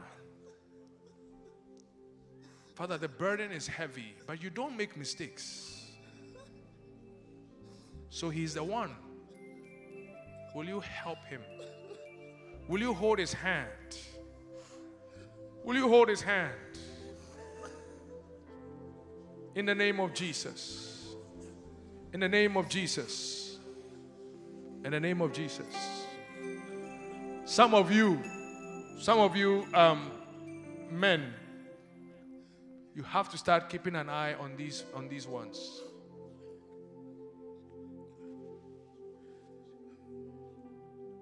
Receive your touch to be the man you are called to be. May the mistakes that were present in your past not follow you into the future. You are a new man in Christ. Your pattern and your DNA is traced through Jesus. May the Lord equip you to be the man. May no trauma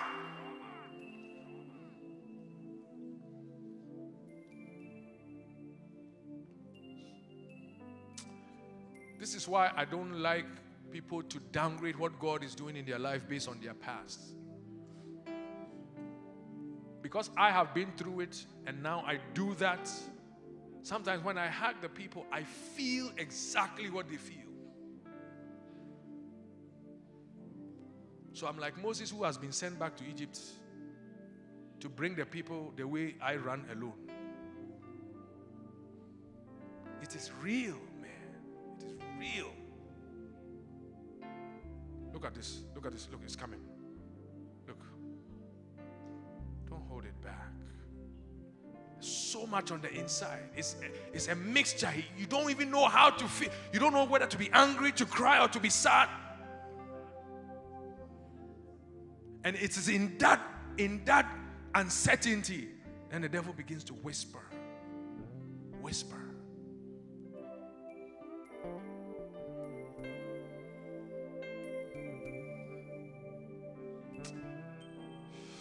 I were you, I would have the Bible playing on my phone 24 7.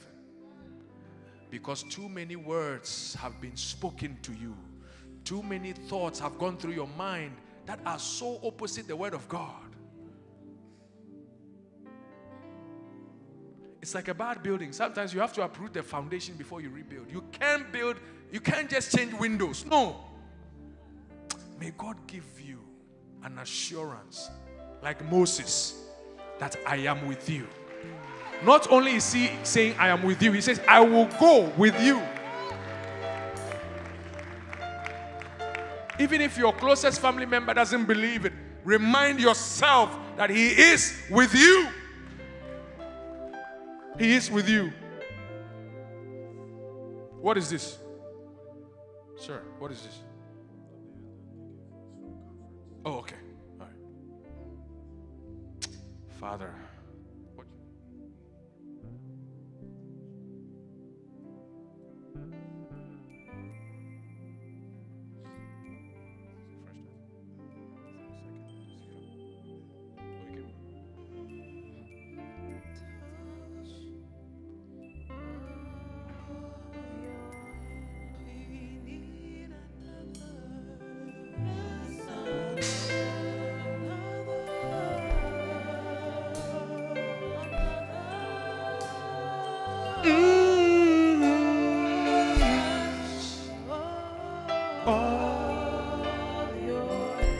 forth your hand towards this man. Another, another, another touch. Oh, Father, I pray. I'm asking him what he wants. He's not, he, he, he doesn't even know. So the Lord who knows and the Lord who sees, the Lord who hears, may He answer that prayer from within, all the way from Chicago. May you live with answers. May you live with solutions. May you live liberated in the name of Jesus. Emotional liberation, mental clarity is yours in the name of Jesus.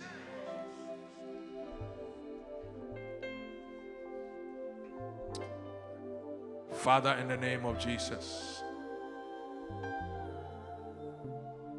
you will not struggle with indecision. You will know what you want and you will know who you are. May the Lord order your steps. May the Lord prompt you and may you hear and perceive the promptings in the name of Jesus. Oh, thank you, Lord. Thank you, Lord. Thank you, Lord. Thank you, Lord. Oh, Jesus. Oh, Jesus. What is your what is what is that thing that you're afraid of? What?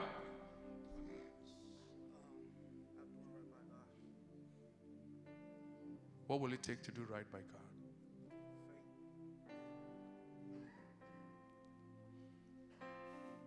How do we get faith?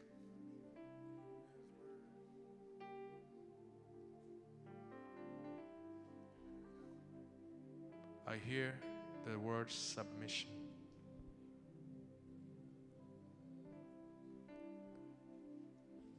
Do you know what it means to submit fully?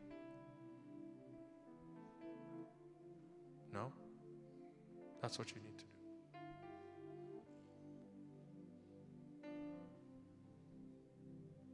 Sometimes submitting means not doing what you know how to do, doing what you've never done before at God's instruction. Because when you do what you know how to do, who's really in control? Yes.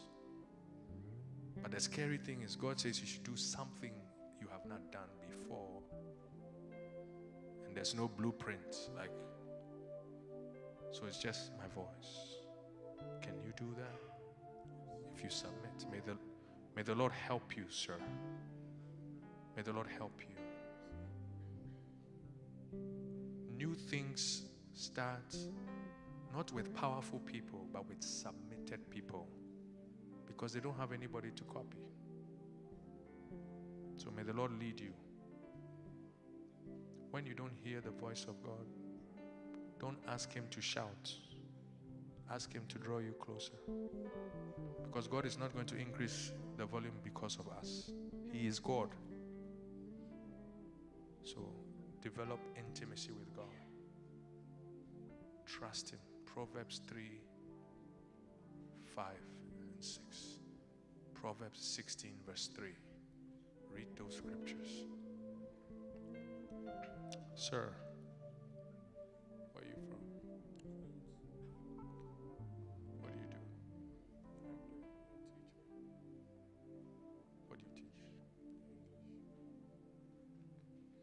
kids look up to you?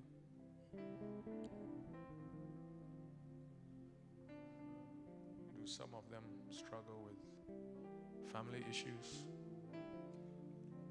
All of them. So you are their light for many of them.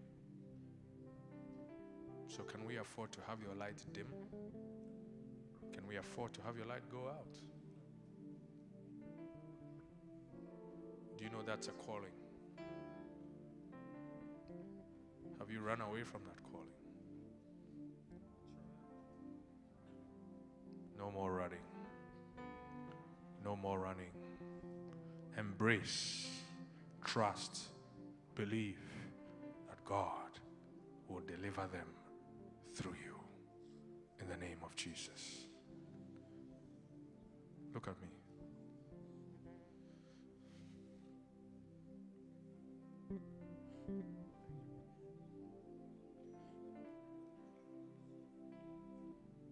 The tears you're shedding, it's not wasted tears. Trauma in the hands of God will lead to triumph. The Bible says we do not have a high priest who does not know what it is like to walk in your shoes. He's the one taking your prayers to the Father. So never think you are alone. He's with you. Ironically, God did not prevent Moses from going through. He told him that I will be with you. So the process may include some uncomfortable places, but God is with you. And they are brethren who will stand with you, sir.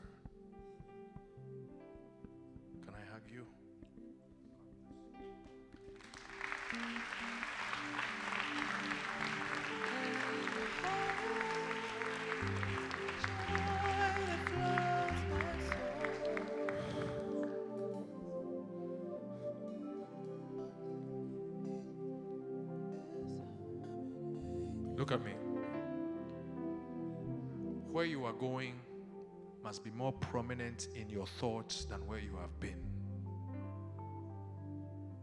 That life, that life, the old life, it, we don't even want it in the rear view mirror. So we, if you have to change highway, change highway, whatever it takes. Because there's so much that God will do once you align yourself. Where are you from? Jersey? Which part? Newark? Are you very popular there?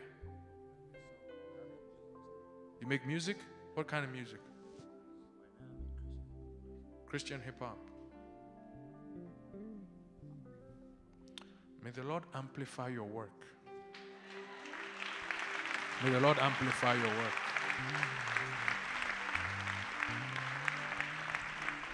May the Lord give you a platform to showcase what He can do with yielded vessels. In Jesus' name. My brother. Oh, Jesus Christ. He's. He's. You need a safe space, my brother.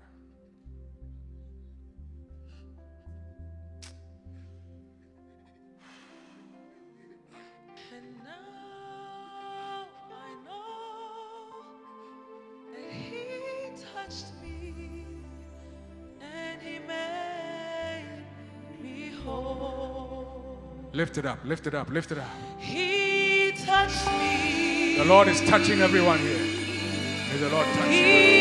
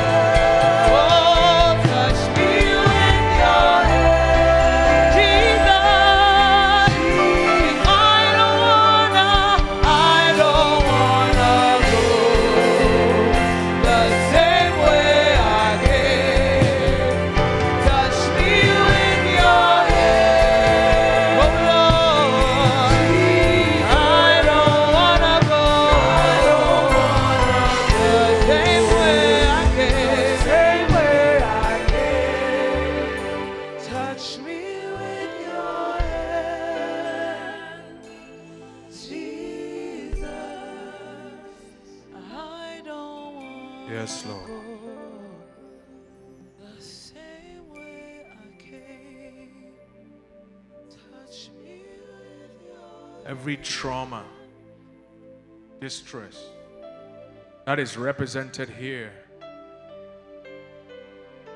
that was meant to change the way you view God and the way you view yourself, the Lord has rolled away. Hallelujah. Hallelujah. And this is the test that you need to prepare for.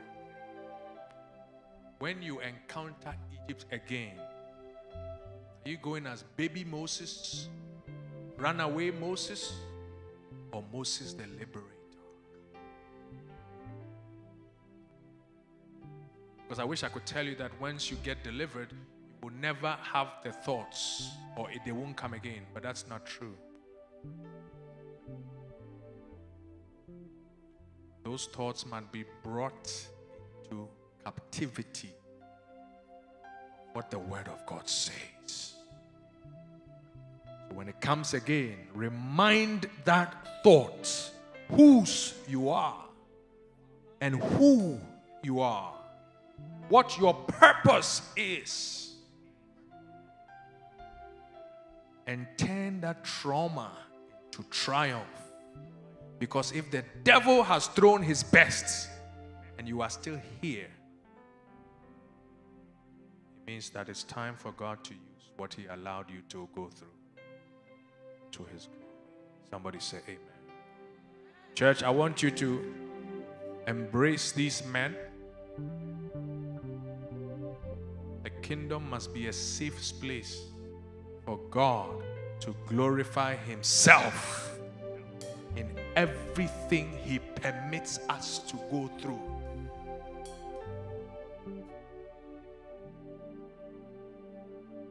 Before I sit down, I want us to thank um, Bishop elect again because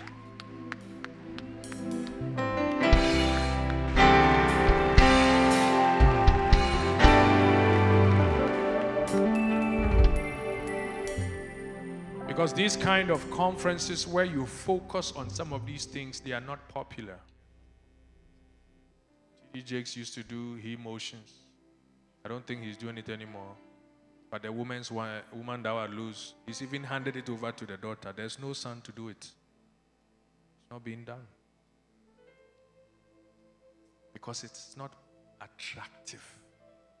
Because of the way society is wired. But you are kingdom people and you've seen what it can do.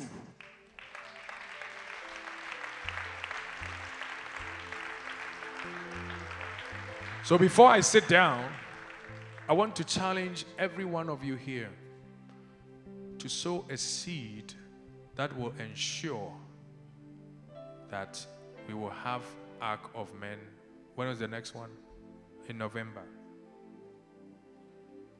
Because a brother, somebody you will marry, somebody who will marry your sister, is standing here or is here or will be coming who needs to benefit for whatever the theme will be for the next one. Sometimes when the Ark of Men announcement comes, me, I register before I find out I'm a speaker. In other words, if I'm not speaking, I'll be here. So, so I, I want to say, don't meet me here, beat me here. So take take a seed. Take anybody, all of us, all of us. We are taking a seed to sow into the next ark of men. You may take your seat.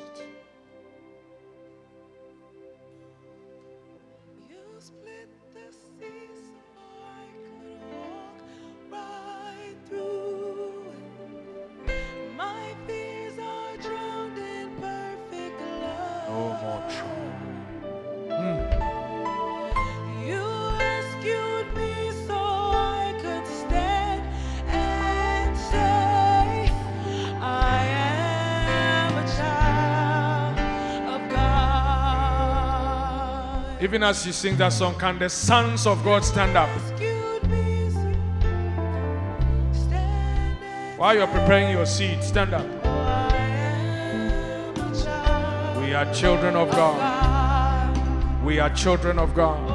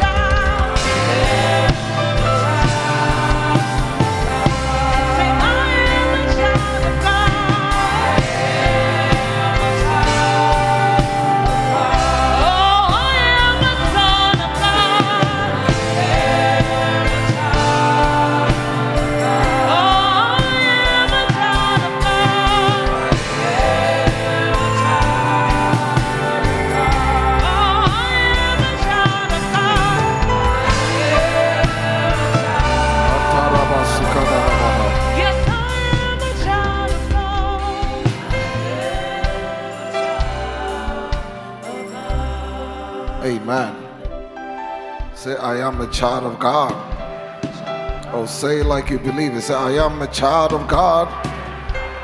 Say, I am a child of God. I am a child of God.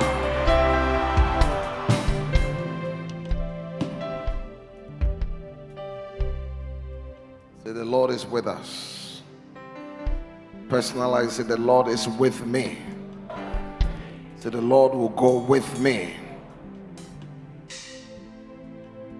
Psalm 124, if you had not been for the Lord who was on our side, then the Lord is on our side. Oh, say like you, you, you believe that God is on your side. I say the Lord is on our side. That was the promise God gave to Moses. I will be with you. And that's all he needed. That God will be with him. And I pray that God will be with you here today in the name of Jesus that in the journey of your marriage, in the journey of your fatherhood, in the journey of destiny of ministry, may God be with you. Say, God is on my side. You are coming out, and you have come out from every trauma, and your trauma has turned to what? Triumph. God is going to use you to bring many people out of their trauma in the name of Jesus. Amen. So whatever the enemy put you through, Bible says all things work together for good to them that love the Lord and are called according to his purpose. So God is still going to use it for his own purpose in Jesus' name. And may God align every man here May, you, may the Lord bring you back on course. That even if you have gone off the original path that the Lord had for you, may He bring you back on course in the name of Jesus. In the name of Jesus. What we're we going to say to Pastor Paul for such a powerful ministration and the word? Come on, give God praise for His life. Come on, church, have you been blessed today? Celebrate God for his ministry. Celebrate God for the grace of God upon his life. Celebrate God in Jesus' name. In Jesus' name. 21st century man. 21st century Christian man. 21st century kingdom man. May the Lord give you the grace to still be able to make it, to fulfill your purpose and fulfill your assignment. May the Lord open your eyes to see what His original intent was for you. In the name of Jesus. And for the 21st century kingdom woman, may the Lord open your eyes to see the purposes of God for your life and also for the men in your life. May you not become a tool in the hands of the enemy to bring down the men in your life. And may you be a midwife that will help deliver the greatness that are in the men in your life. May the Lord be on the side of everyone here. May the Lord be on the side of every man, every man. Men are under attack, but those that the Lord is on their side, they will be preserved. For if I had not been for the Lord who was on our side, we would have been finished. The devil would have taken us out. Thanks be to God who has not given us as a prey to their teeth. We have escaped as a bird escaping the snares of the fowler. The snare is broken and we have escaped. Man, we have escaped. Oh, if you believe that you have escaped, shout and give God some praise. Say, I have escaped the snares of the enemy. Say, Satan, you cannot take me out. Say, Satan, you cannot eliminate me. Say, Satan, you cannot destroy my family. Say, Satan, you cannot destroy my marriage. Say, Satan, you cannot destroy my children. In the name of Jesus. In the name of Jesus. In the name of Jesus. May God arise in your life. And may every enemy be scattered. In Jesus' name. In Jesus' name. Before we take our announcement, I want us to stretch forth our hands towards the man of God. We want to pray that the Lord will replenish him. A lot of grace, a lot of virtue has come out of him. He ministered a powerful word that has transformed our lives. We are praying that the Lord will protect him, cover him, expand his ministry. We want, the, we want the Lord to release more grace, more wisdom, more knowledge. Lift up your voice, begin to pray for him.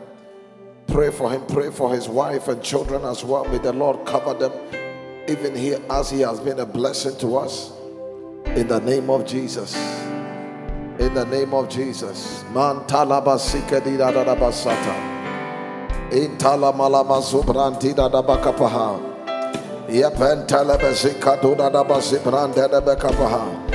Yes, pray for him, pray for him.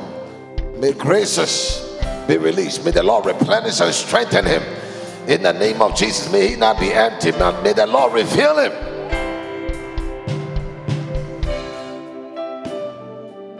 We release a counter attack against every attack, every retaliation from the pit of hell. We block their retaliation, we send it back to the sender. In the name of Jesus, may the Lord cover and protect him.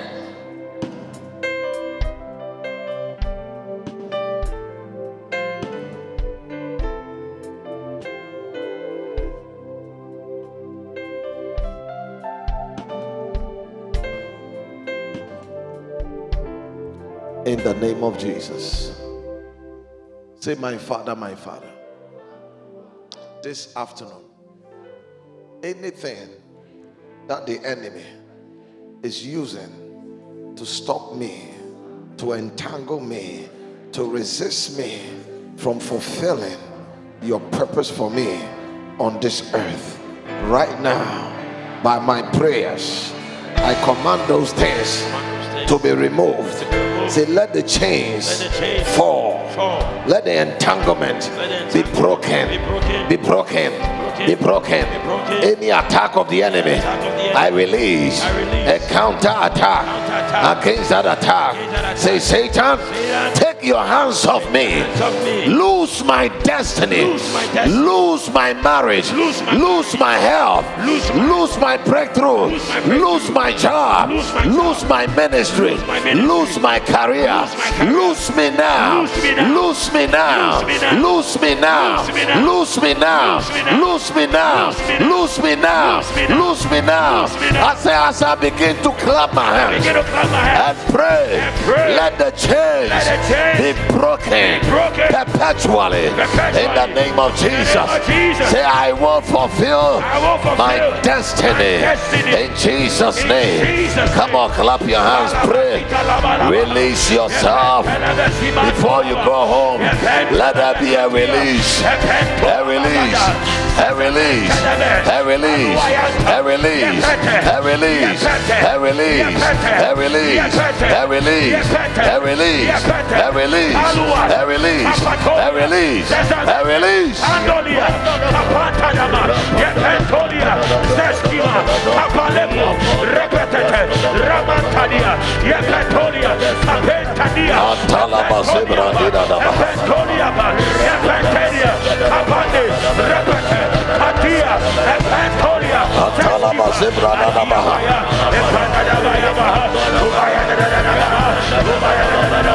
let the Lord release. May the chains fall. May that entanglement be broken. Alaba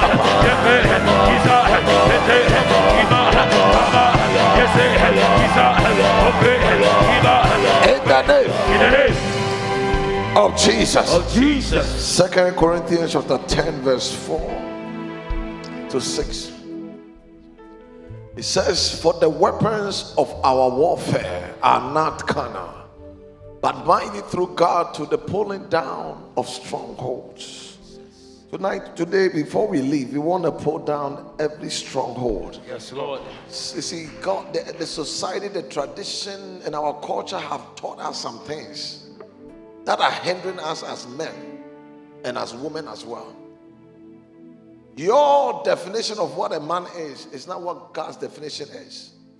Because the culture is telling you something, and now it has formed a stronghold that we cannot break out of. But the Bible says, for the weapons of our warfare, it's not a physical weapon, but it's what? It's mighty through God to the pulling down of that doctrine, that stronghold, that mindset. Today we want to pull down every mindset. Jesus. That tells you that the fact that you are not working means that you are not a man. Jesus. You see, that mindset that tells you the fact that you cook for your family means that you are not a man. And for the woman, the fact that your man is not working does not mean that he's not a man. It's a mindset that must break. Because there is times and seasons for everything. There are seasons in your life that you may work. There are seasons in life that you may not work. So we want to pray. Because one of the things that men are struggling with truly is the definition of who they are. And it's because of the stronghold.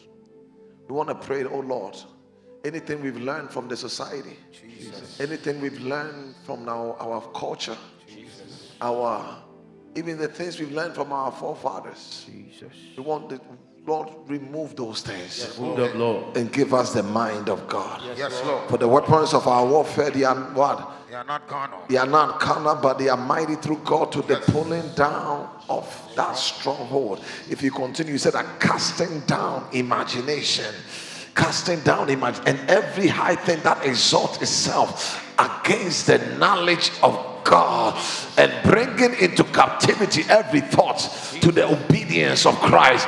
Ah, as a man, I want you to pray. As a woman, I want you to pray. Any mindset, any doctrine, any stronghold that you've learned from the world, today let it break. Let the let it break in the name of Jesus. Say, my Father, my Father, this afternoon, as I begin to pray, oh Lord, let every evil stronghold in my mind be pulled down, be pulled down. Say, as I begin to pray, I cast out every imagination and every thought that is risen against the knowledge of God. Oh Lord, I bring into captivity my mind, my mind, my mind, my mind. In the name of Jesus, in the name of Jesus, under the subjection of Jesus Christ. Come on, lift up your voice uh, and pray. Arrest every stronghold. Arrest it. Break down the stronghold for the weapons of our warfare. They are not carnal, but they are mighty. Ah, they are mighty through God to the pulling down, the pulling down, the pulling down, the pulling down, the pulling down of the stronghold.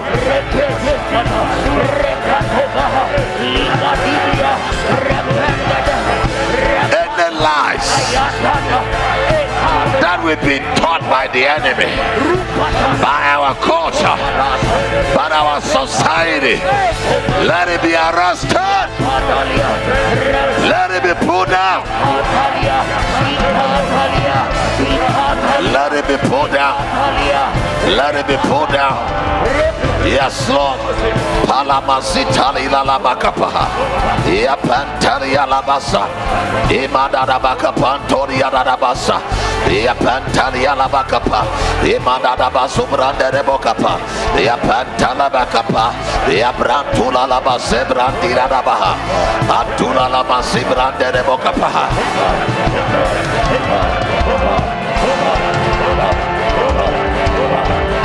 Let every stronghold be pulled down, be pulled down, be arrested. Talamasita, Tolamasibra Tira Dabaha, Ebanda basobra dida da bakapaha. Ya pentala basebra dida da baha.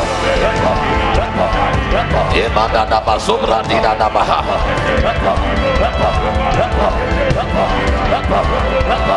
Hoppa!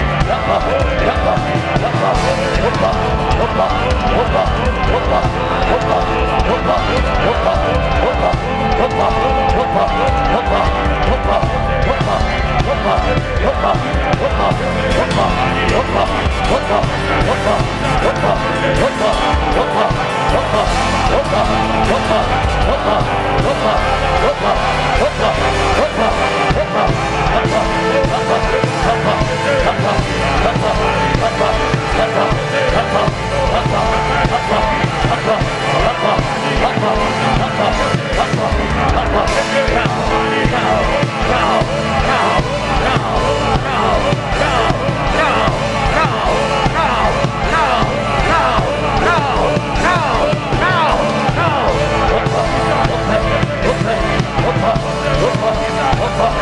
baha. In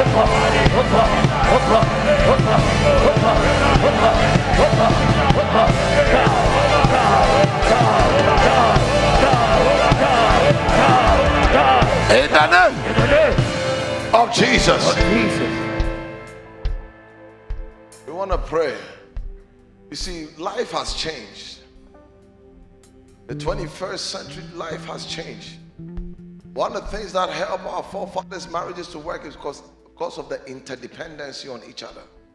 Nowadays, we don't depend on each other anymore for survival. But the original intent for God was that He said, It is not good that a man should be alone. And now let me make him a help. So that means that there must be interdependency between the males and the female. But because of what the culture is telling us, there is independency going on. But that is not the, the, the original plan of God. Yes, you can still have your degrees, you can still do well, but the core reason why God brought you together must not be missed. We want to pray that any spirit that wants to separate men from their wives, Jesus. spirit of feminism that has entered the world that now is teaching women to do their own that there's no need for you for any man spirit that is feminizing men to get to a point where men are not able to pull their weight it's like it's it's bringing us apart more than bringing us together we want to pray Yes, Lord. we want to go back to what god is saying not what the world is saying to us Yes. in the name of Jesus Christ. name of Jesus. That yes, you can your wife can still be the most knowledgeable, the most with degrees, but still remember that the reason why God brought you together. Yes. And so in the 21st century, our identity is not in what we do, but in our purpose. You know the purpose of a car. You don't you cannot redefine the purpose of a car because cars were made to move and made to sit in and drive. The purpose of this mic is to amplify my voice. You cannot change that. And the moment you change it, you begin to abuse the mic. Nowadays, the enemy is in the process of changing even our identity, our sex. Amen. Nowadays, people people are confused. I saw a man with a long wig and a beard, and she calls herself, I don't even know what to call. And there's a lot of confusion going on. And these are things that men are going through. You you a man, but you think that you are a woman. Uh-huh. So so we want to pray that anything that is bringing separation rather than bringing us together, we want to break it. Yes, Lord. In the name of Jesus In the Christ. name of Jesus. And this is a spirit that wants to really mess up what God wants to do. You see, the original plan, as Pastor Paul said, is God's original plan is through the man he started this whole family. And so that plan has not changed with God. Amen. So, man, your purpose is bigger than what you think. So, that foundation, that purpose of you being a family must be recognized. That through you, God is raising a whole family. Whether you work or you don't work, your purpose is needed. Your presence is needed. Your input is needed. You are so valuable. You are so appreciated, and we must appreciate that. In the name of Jesus Christ. In the name of Jesus. We want to pray today, the Lord, anything that wants to separate families. So you realize that even the divorce rate outside the church is the same as inside the church, and even the church is even worse now. Because society is determined, is, de- is, is, is dictating to us, and we call ourselves kingdom men and kingdom women. May we return back. Yes, Lord. Not back into captivity, but back to the word. What is God saying? What is God saying? And nowadays, the things that we're supposed to be used to help each other, we use to compete against each other.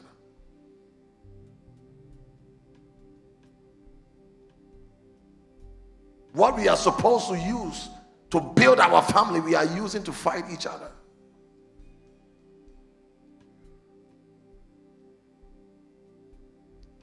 Kingdom man. Rise. The Lord is with us. We must pray through this. This is a demonic agenda. The Bible said that the weapons of our warfare they are not carnal because the things that are fighting us are not carnal. But we wrestle not against flesh and blood, but against principalities, against powers. Things are contending to take away your manhood.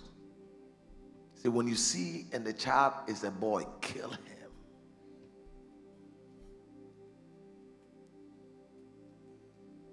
Naomi became bitter because every man in her life died.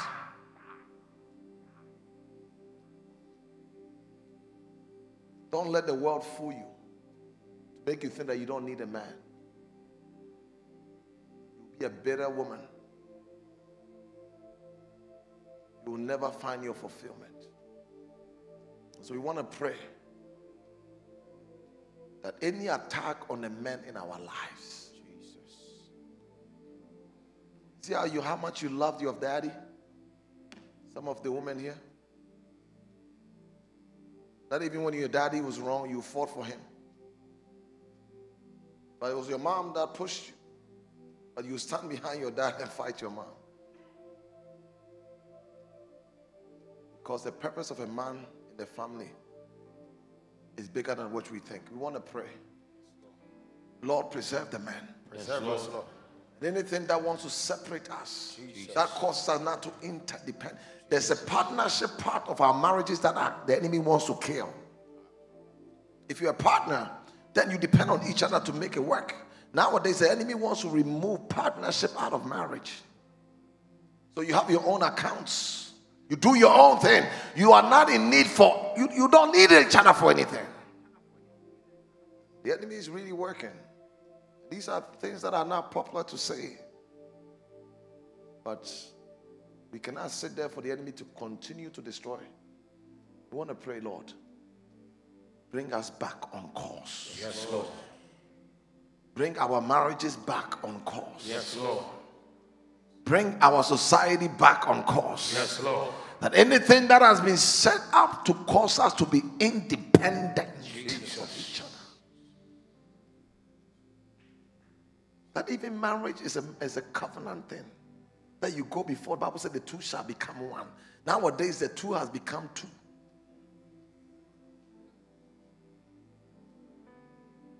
One plus one is two in our world, but in the kingdom, in heaven, one plus one is one. God said, the two shall become one. But the enemy wants to separate the two. We want to pray against it. Anything that wants to separate, Jesus. let it be arrested. arrested. In the name of Jesus. Let it be arrested. Let it, let it be arrested. In the mighty name of Jesus. Say, My Father, my Father. Today, As I begin to pray, anything that the enemy is using to separate man from woman, today, let it be arrested. Let it be arrested. Let it be arrested. Let it be arrested. Come on, clap your hands. Arrested. It will not work. The Lord is with us. It will not work. It will not work. It will not work. It will not work. Let it be arrested. Arrested. Bind it. Atalabaha. Italabalaba Zubra Tira da Bayapaha Teleme Zibra Tura da Bakapan Telebelebaha Imada da Bazubra Telebekapaha Yapen Teleme Zibra Tura da Baha Imada da Bakapan Telebe Santa Taria Labaha Imada da Bakapan Turia Labaha Yapen Taria Laba Zubra Tira da Baha Imada da Bayapan Turia da Baha Ikapa. Yapen Telebe Yapen Telebe Yapen Telebe alaba demanda sobran tidak ada baha yang mencari sobran tidak ada baha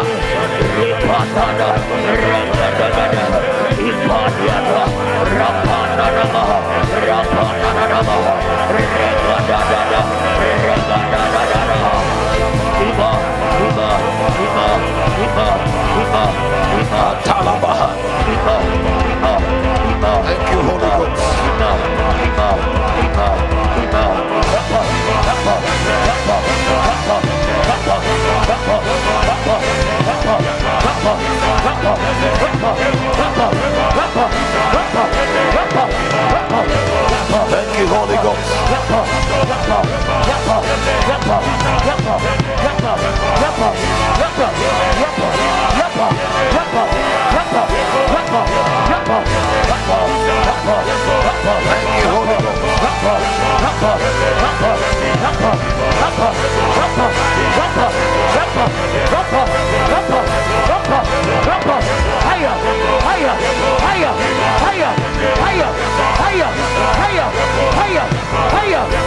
In the name of Jesus. May you arise. Yes, Lord. May the Lord open your eyes once again. Yes, Lord. May the Lord give you vision. Yes, Lord.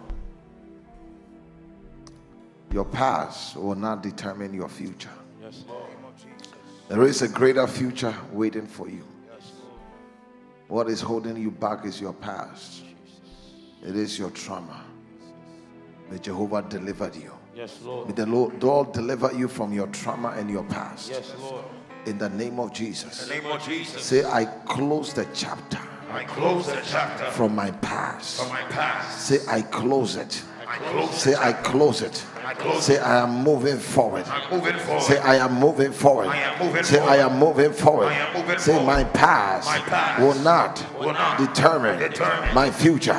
In the name of Jesus. name of Jesus. In the name of Jesus.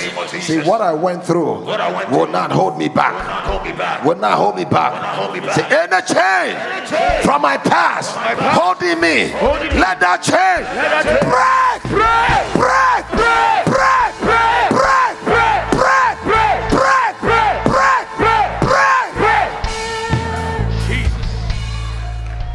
the name of Jesus, Name of Jesus.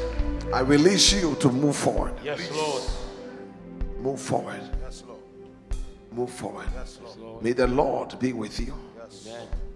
May the Lord be with you. May the Lord give you vision. May you be able to see from here and see into the future.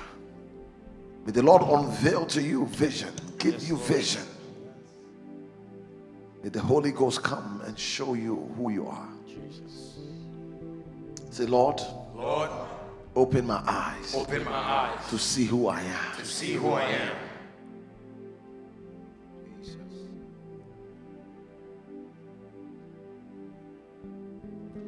The most dangerous attack on a man is his vision. If you take away his vision, he's no nowhere. And so when the Bible said, when the Spirit of the Lord come, he said, he will cause the young men and young women to see, uh, to, to, to prophesy. And he said, only the young men, did not even talk about the young men. He said, the young men shall see visions. Joel 2:28. You shall see visions. And it shall come to pass afterwards that I will pour out my spirit upon all flesh. Your sons and your daughters shall prophesy. Your old men shall dream dreams. Your young man shall see what? Visions. So, so young man, you need vision. Because you know what? How can you tell somebody to help you and you don't know where you are going? Jesus. Where are we going? I don't know. You want to pray? Quick prayer before we before the next one minute. Say, Lord, show me where I am going. Lord, show me where I'm going. Show me, give me vision for my life. Give me vision for my life. Right now, just speak to the Lord quickly. May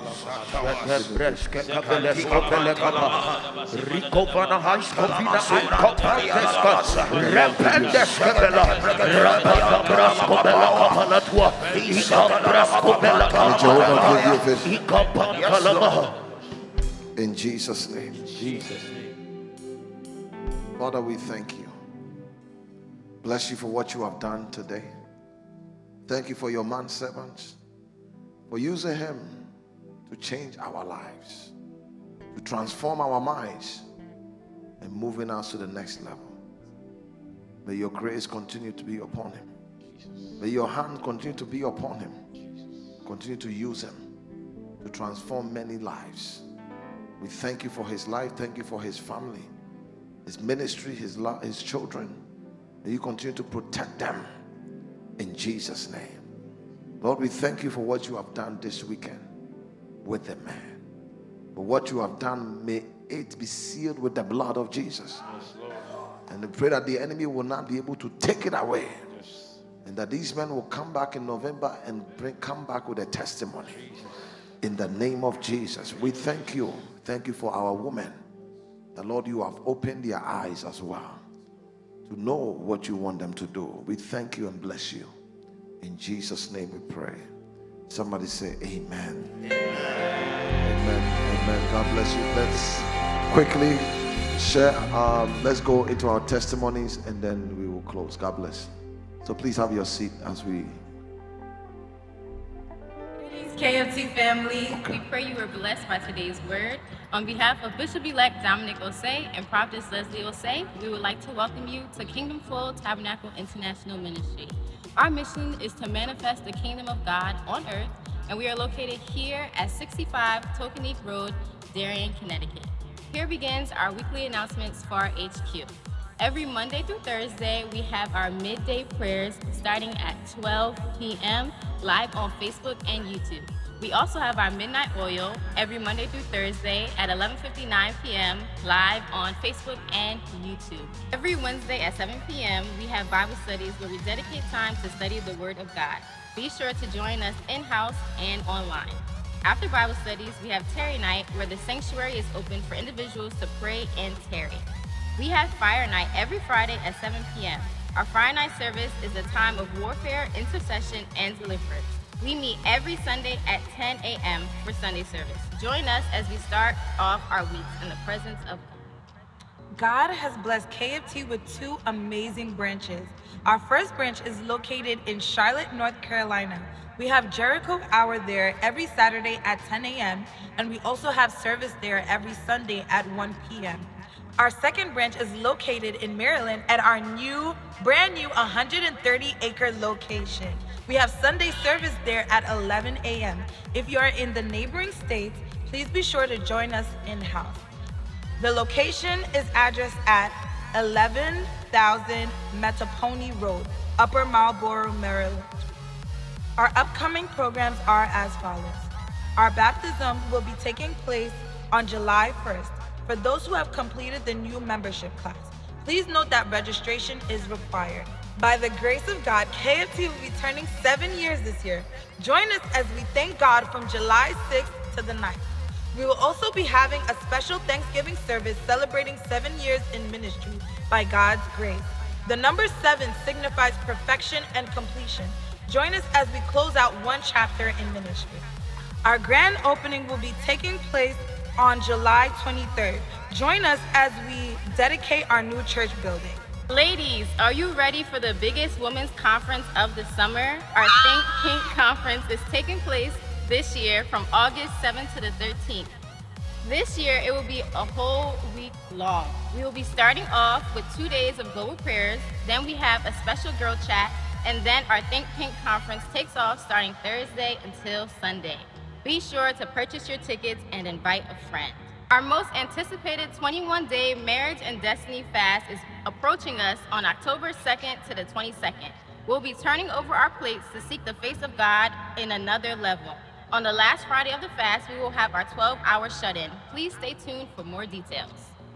Kingdom Men. The year's not over yet, and we have one more Ark of Men's conference, the last gathering taking place from November 10th to the 12th. Stay tuned for more details. Pleased to announce that our Papa, Bishop elect Dominic Osei, has released a new book titled Discipleship Discovering Spiritual Maturity.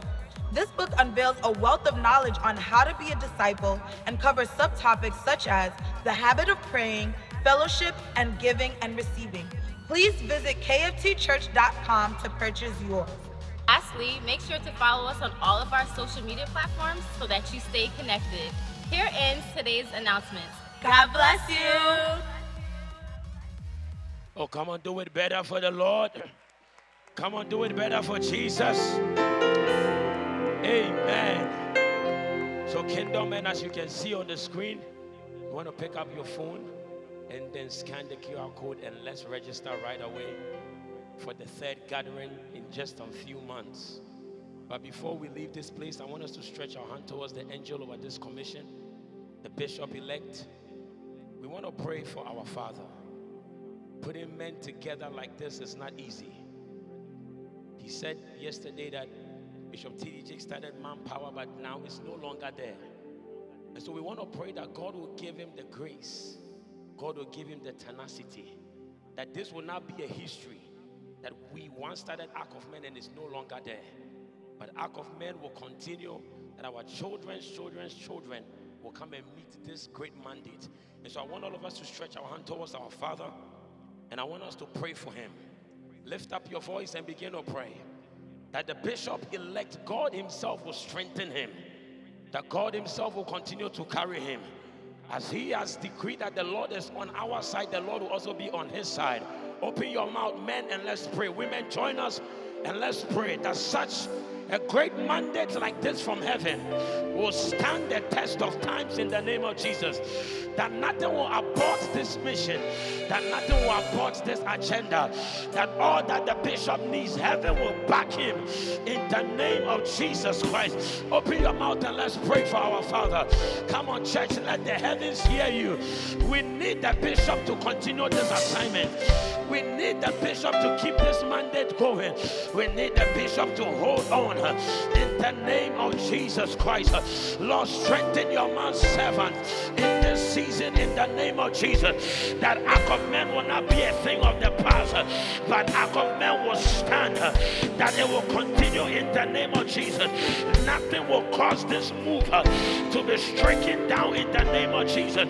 Lord, empower your man servant with all that is needed. May the heaven back him in the name of Jesus. That he will not give up, that he will hold on, that he will stand firm to push the man that you are bringing his way, that he will continue in this season of his life in the mighty name of Jesus.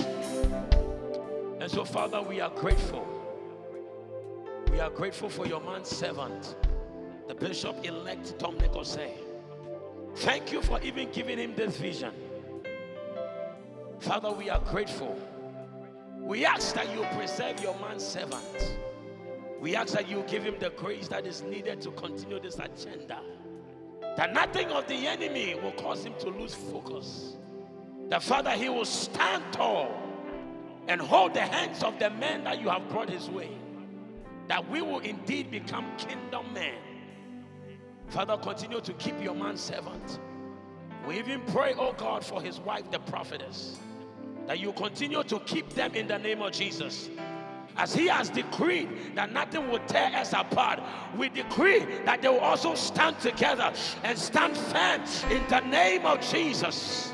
We decree that any eye and any voice that is not of God, that is speaking against their marriage, is speaking against their children, we condemn it in the name of Jesus and we decree that this marriage, this family will stand in the name of Jesus Christ.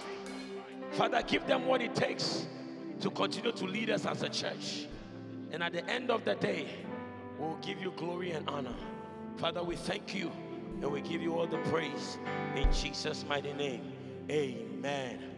Kingdom men, before we zone out, we want to once again invite the father of the house, the bishop elect, as he gives us the benediction and bless us. Ladies and gentlemen, let's receive our father, the bishop elect, Dominic Osei. Amen. God bless you all for your prayers. Um, before we go, if you're here for the very first time, can you just wave at me? This is your first time KFT. Amen. Come on, let's welcome them. Amen. If you don't mind, can you come forward for me, please? Those that are here for the very first time. Come on, celebrate God, for their lives, please.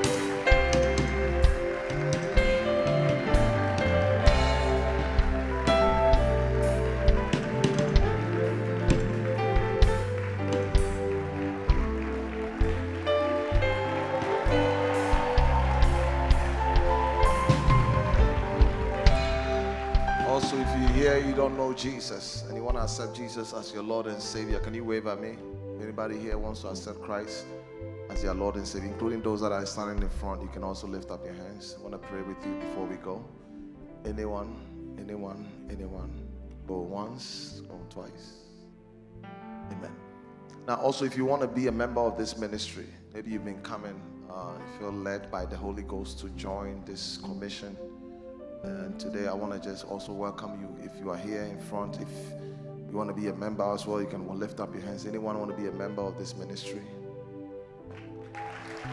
Can we? Can you please come forward for me, please? Let's welcome them. You guys can stand on my right hand here, please. Amen. Anybody else? Yes. New members new members, KFT. Come on, celebrate God.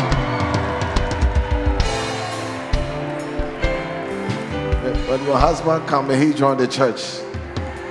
In Jesus' name, amen. Some of you, I don't know, your husband will come back here. Um, you want to join the church? Can you move this way, this way, please?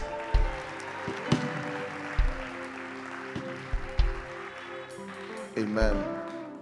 God bless you for joining us. We are so happy that you decided to join this family. I, pray, I know your life will never be the same. In Jesus' name, amen. And for those that are visiting us for the first time, God bless you for visiting us. This is Kingdom Full Tabernacle International Ministries. Uh, our doors are always open for you. We pray that this will not be your last time coming. You come and visit us more. Amen. Amen. Let- I just want to pray that anything that you came here, whatever the Lord brought you here for, may you receive it. May the Lord answer every prayer that you prayed. May you go back with a testimony. In Jesus' mighty name we pray. Amen and amen. Amen. Now we have the welcome team. Where's the welcome team? Yes, this beautiful sister. Can you come show yourself so they can see you? Because I can't see you. Yes. All right. Can you please follow her? They will take your information. And also for those that are being members, also you have all the information that you need because you need to go through the classes and then after that we will reintroduce you to the church. Please, can you follow them to that room right there? Right there. It will be so quick. Amen. God bless you. God bless you. God bless you. Thank you. God bless you. Amen. Amen. We thank God for adding more people to us. Jesus' name. Lift up your hands as we close. Kali mazuta la masahas. Peleme zukadianda rabasuka de bokapaha. Mentala basukedi la la masaha. Father, we thank you. We thank you. We don't take it for granted. We thank you for the many testimonies. We thank you for preservation. Exactly a year ago today, our, our um, offer was accepted for this building. And today we say thank you.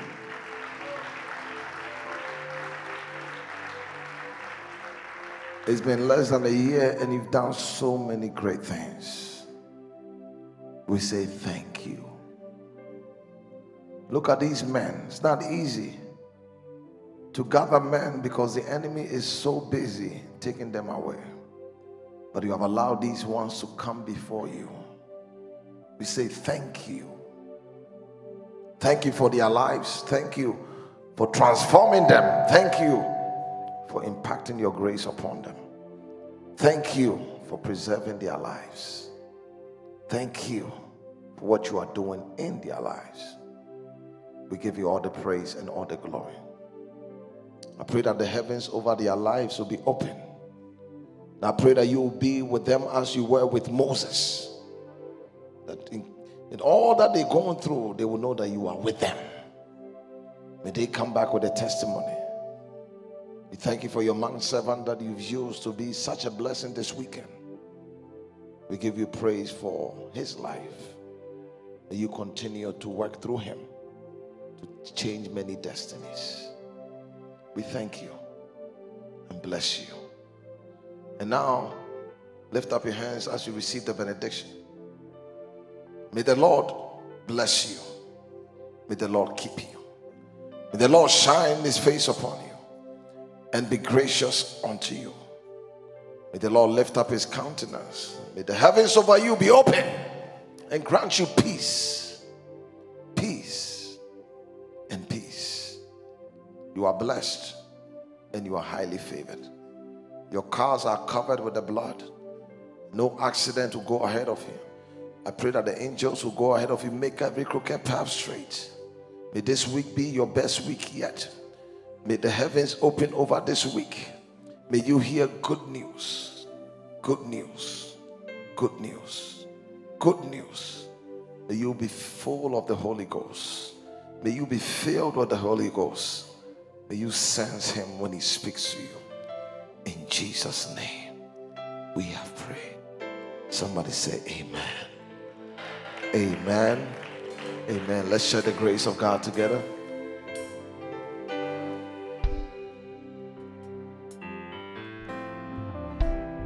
Be with us now and forevermore.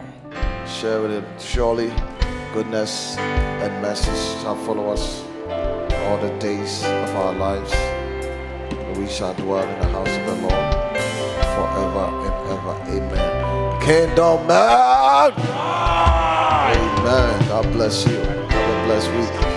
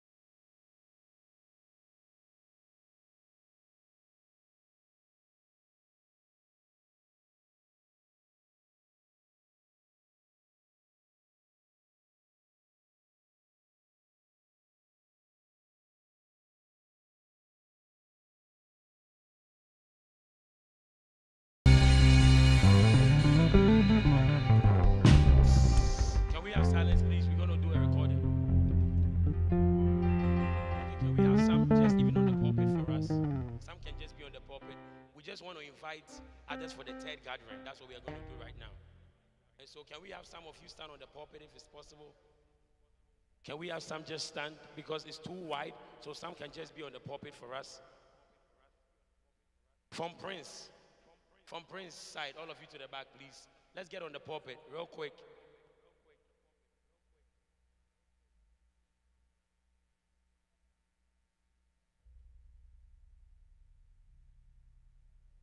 All right. Manny, are you ready? Are you the two of them?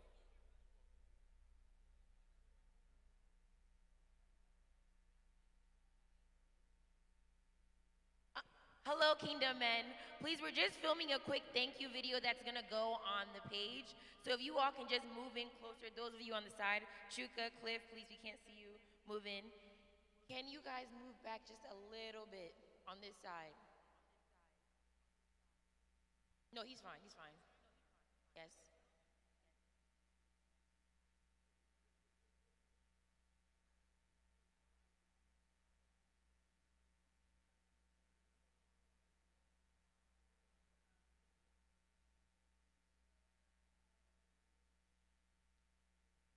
Let's get together. Let's get together.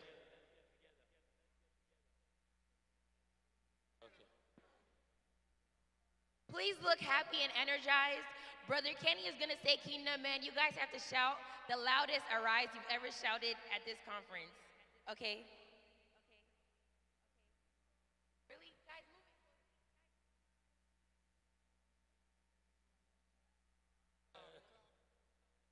Are we good?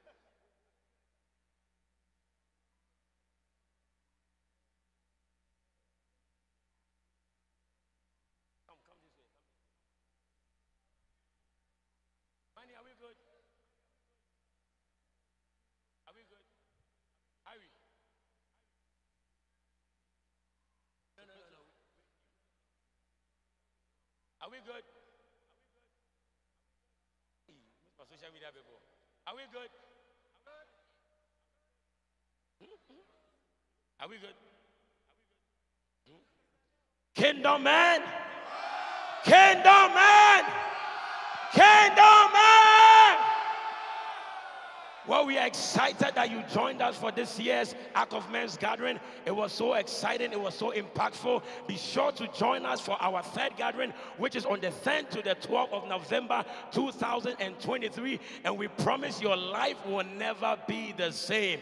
God bless you for joining us. One more time, Kingdom Man! Kingdom Man! Kingdom Man! Thank you and God bless you all. Thank you, brothers.